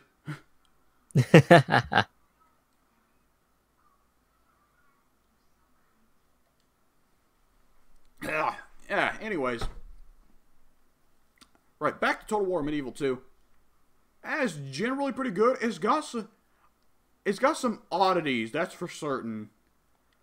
Particularly the whole thing of to my knowledge, only the playable nations are present on the game map. All other space is occupied by the ambiguous rebel faction, which becomes a problem because there are actually some pretty important countries that got left out, like Norway and the Netherlands, and pretty much any of the French kingdoms except for France itself, or Wales, or Ireland. They all have just been replaced with generic fucking whatever rebels. it's the chaos. It's the chaos. Yeah. It has already taken over. Ha. Ah. Well, uh, ugh. Uh, and the, the crazy thing, the one last crazy thing I want to mention about Medieval 2 before we wrap this up. So it has the Total Wars have mini campaigns that will just focus on specific camp specific conflicts, right? Yeah. So, Total War Medieval 2 has the most mini campaigns. It's got one for the Americas, for the Crusades, for the British Isles, and for the Teutonic Order, which I found out while reading. Apparently, the Teutonic Order is still running today? How? I think I've I think I've heard of it. Yes. But they're a knightly order that's been running since the Crusades. How? yes. Yes, yes, I'm pretty sure. Like, I, I actually don't remember. Whatever. Leave, let's leave that thoughts in the bin. Like, I think I think they're now considered to be more of a religion thing, but there may also be an ethnic side to it. I don't even know. They're still going today. Yeah, yeah, you didn't. What? It's so crazy. You didn't believe me when I said it, and you had to go look it up No. yourself. I went and looked it up real quick. I was like, that can't be right. Oh, they're still running. How? Like there is a this video game allows me to go back to 1200 and unite Eastern Europe while playing as them, and that's the theme of the campaign. And they're still running. And they apparently still hand out knighthoods. I don't imagine they ride around on horses in armor anymore, but still. That's the nuttiest shit, isn't it? From what I can tell, now they're mostly just uh, an organization. Uh, they they run a museum and an, ar- and an archi- archives, and that's about it. Um,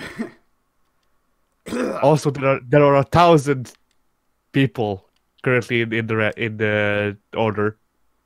that, that's more than I. I'm not sure if that's more or less than I expected. Honestly, I can't say. I wanted to say more, then I wanted to say less. Like that is confounding. That is genuinely confusing. Like, Like, what, what t- they you, yeah. Well, you would think past a certain point they wouldn't stop calling it the Teutonic Order and they just call it like the German Missionary Association or some shit, right? I mean, technic- technically, the Hungarian name, their, their Hungarian name is just the the, the, the German Knight Order. So Yeah. Oh, by the way, by the way, one of the kingdoms that actually is selectable in Medieval 2 is Hungary. and you never pick them because they die in the first turn. Well, thankfully, thankfully the game starts early enough that the Byzantine Empire exists, so they managed to not be the Ottomans' first targets, but they are the second targets. Yeah. The weird thing about this game, every other Total War game, you start with all the options. Not with this one. This one, you only get to pick from England, France, Spain, Holy Roman Empire, and Venice at the beginning. And you have to unlock 20 countries. I've never seen a strategy game with unlockable fucking factions. It's weird. Who's that country? It's Pikachu. The the Holy Land of Pikachu. Yeah. the whole the Holy Pika Empire. Uh, so I think we are definitely going to do an LP of that as soon as I unlock Hungary. Ain't that, ain't that wild to just have a video game where it's like, you unlocked Hungary? Like, okay. all, all, all five million people, huh? Okay. All five people located directly in Hungary. Apparently they're actually a decent faction too, because you got like good uh, archer cavalry. And these old and in these games, archer cavalry fuck shit up. But it, what is this set? Uh, generally the space between 1100 and 1600. So from the beginning of Knights to the beginning of Gunpowder. Okay, the double cavalry is not not not not the top, but still the only thing that's interesting about us, as far as I know. Another crazy thing about Hungary is that Hungary is one of the first factions to get the halberd, which is good. Halberds are very good. Lawbringer. E- even better than Lawbringer, it's in the hands of peasants. The unit is genuinely called Transylvanian Peasants. That's the name of the unit. Ah, nice. And since they're peasants, they're extra cheap. So you just get really cheap anti cavalry armor piercing units, which is awesome. So Hungary's actually a pretty interesting faction. And was were the Ottomans really big on cavalry? Uh, I don't know. They were really big on kidnapping our kids and then just freaking making, teaching them to be Turkish, though. That I know. Well, there was the Janissaries. Yeah, I remember that, but I don't think the Janissaries show up until like the late medieval period, right? Yeah. Ah. But anyways, yeah, that's a good game, and I'm going to have to figure out how to unlock Hungary so we can play it. And one last thing I want to say about it: Have any of you guys You- ever seen? Yeah, Pink, Pink Bulk's like, please help me. Go get you you you all look you all look you all look hungry by play, playing playing a faction that that then gets divided divided into into a quarter of its size by the other factions surrounding it. Ha! So I just want to mention the crazy mods of Total War King Medieval 2. Have you guys seen the mods? I have Nope. not. This game was apparently the peak of modding for Total War. So you've got mods for Lord of the Rings conversion, Game of Thrones, Elder Scrolls, Dragon Age, Warhammer of all things. That's a that's a little redundant now, I guess. And apparently the mods are all pretty quality. So I might need to look into that at some point. Like I've heard that the uh, the Lord of the Rings mod is actually one of the best mods ever developed for any video game. Period. Like it fully simulates not only the entire map and the military strategies of Tolkien's universe, but like the politics too. Oh man. So yeah, good things happening over here. Ah, all right. So I think we can call that a podcast. Put up a timestamp. Oh God, right, meme hour. No, not not meme hour. I mean, we can we can do that, but I don't have it open. All right, just shoot, just shoot. So we this is an, an announcement. This is our new new logo for the for the podcast. Yeah. Are those bubbles? No, maybe I I don't remember. what is that texture? I don't know, dude. ati, Bye. there we go. I can't find the OBS tab. There we go. Nice. Later, folks. this is the podcast that never ends. It just goes on and on and on. Shut up.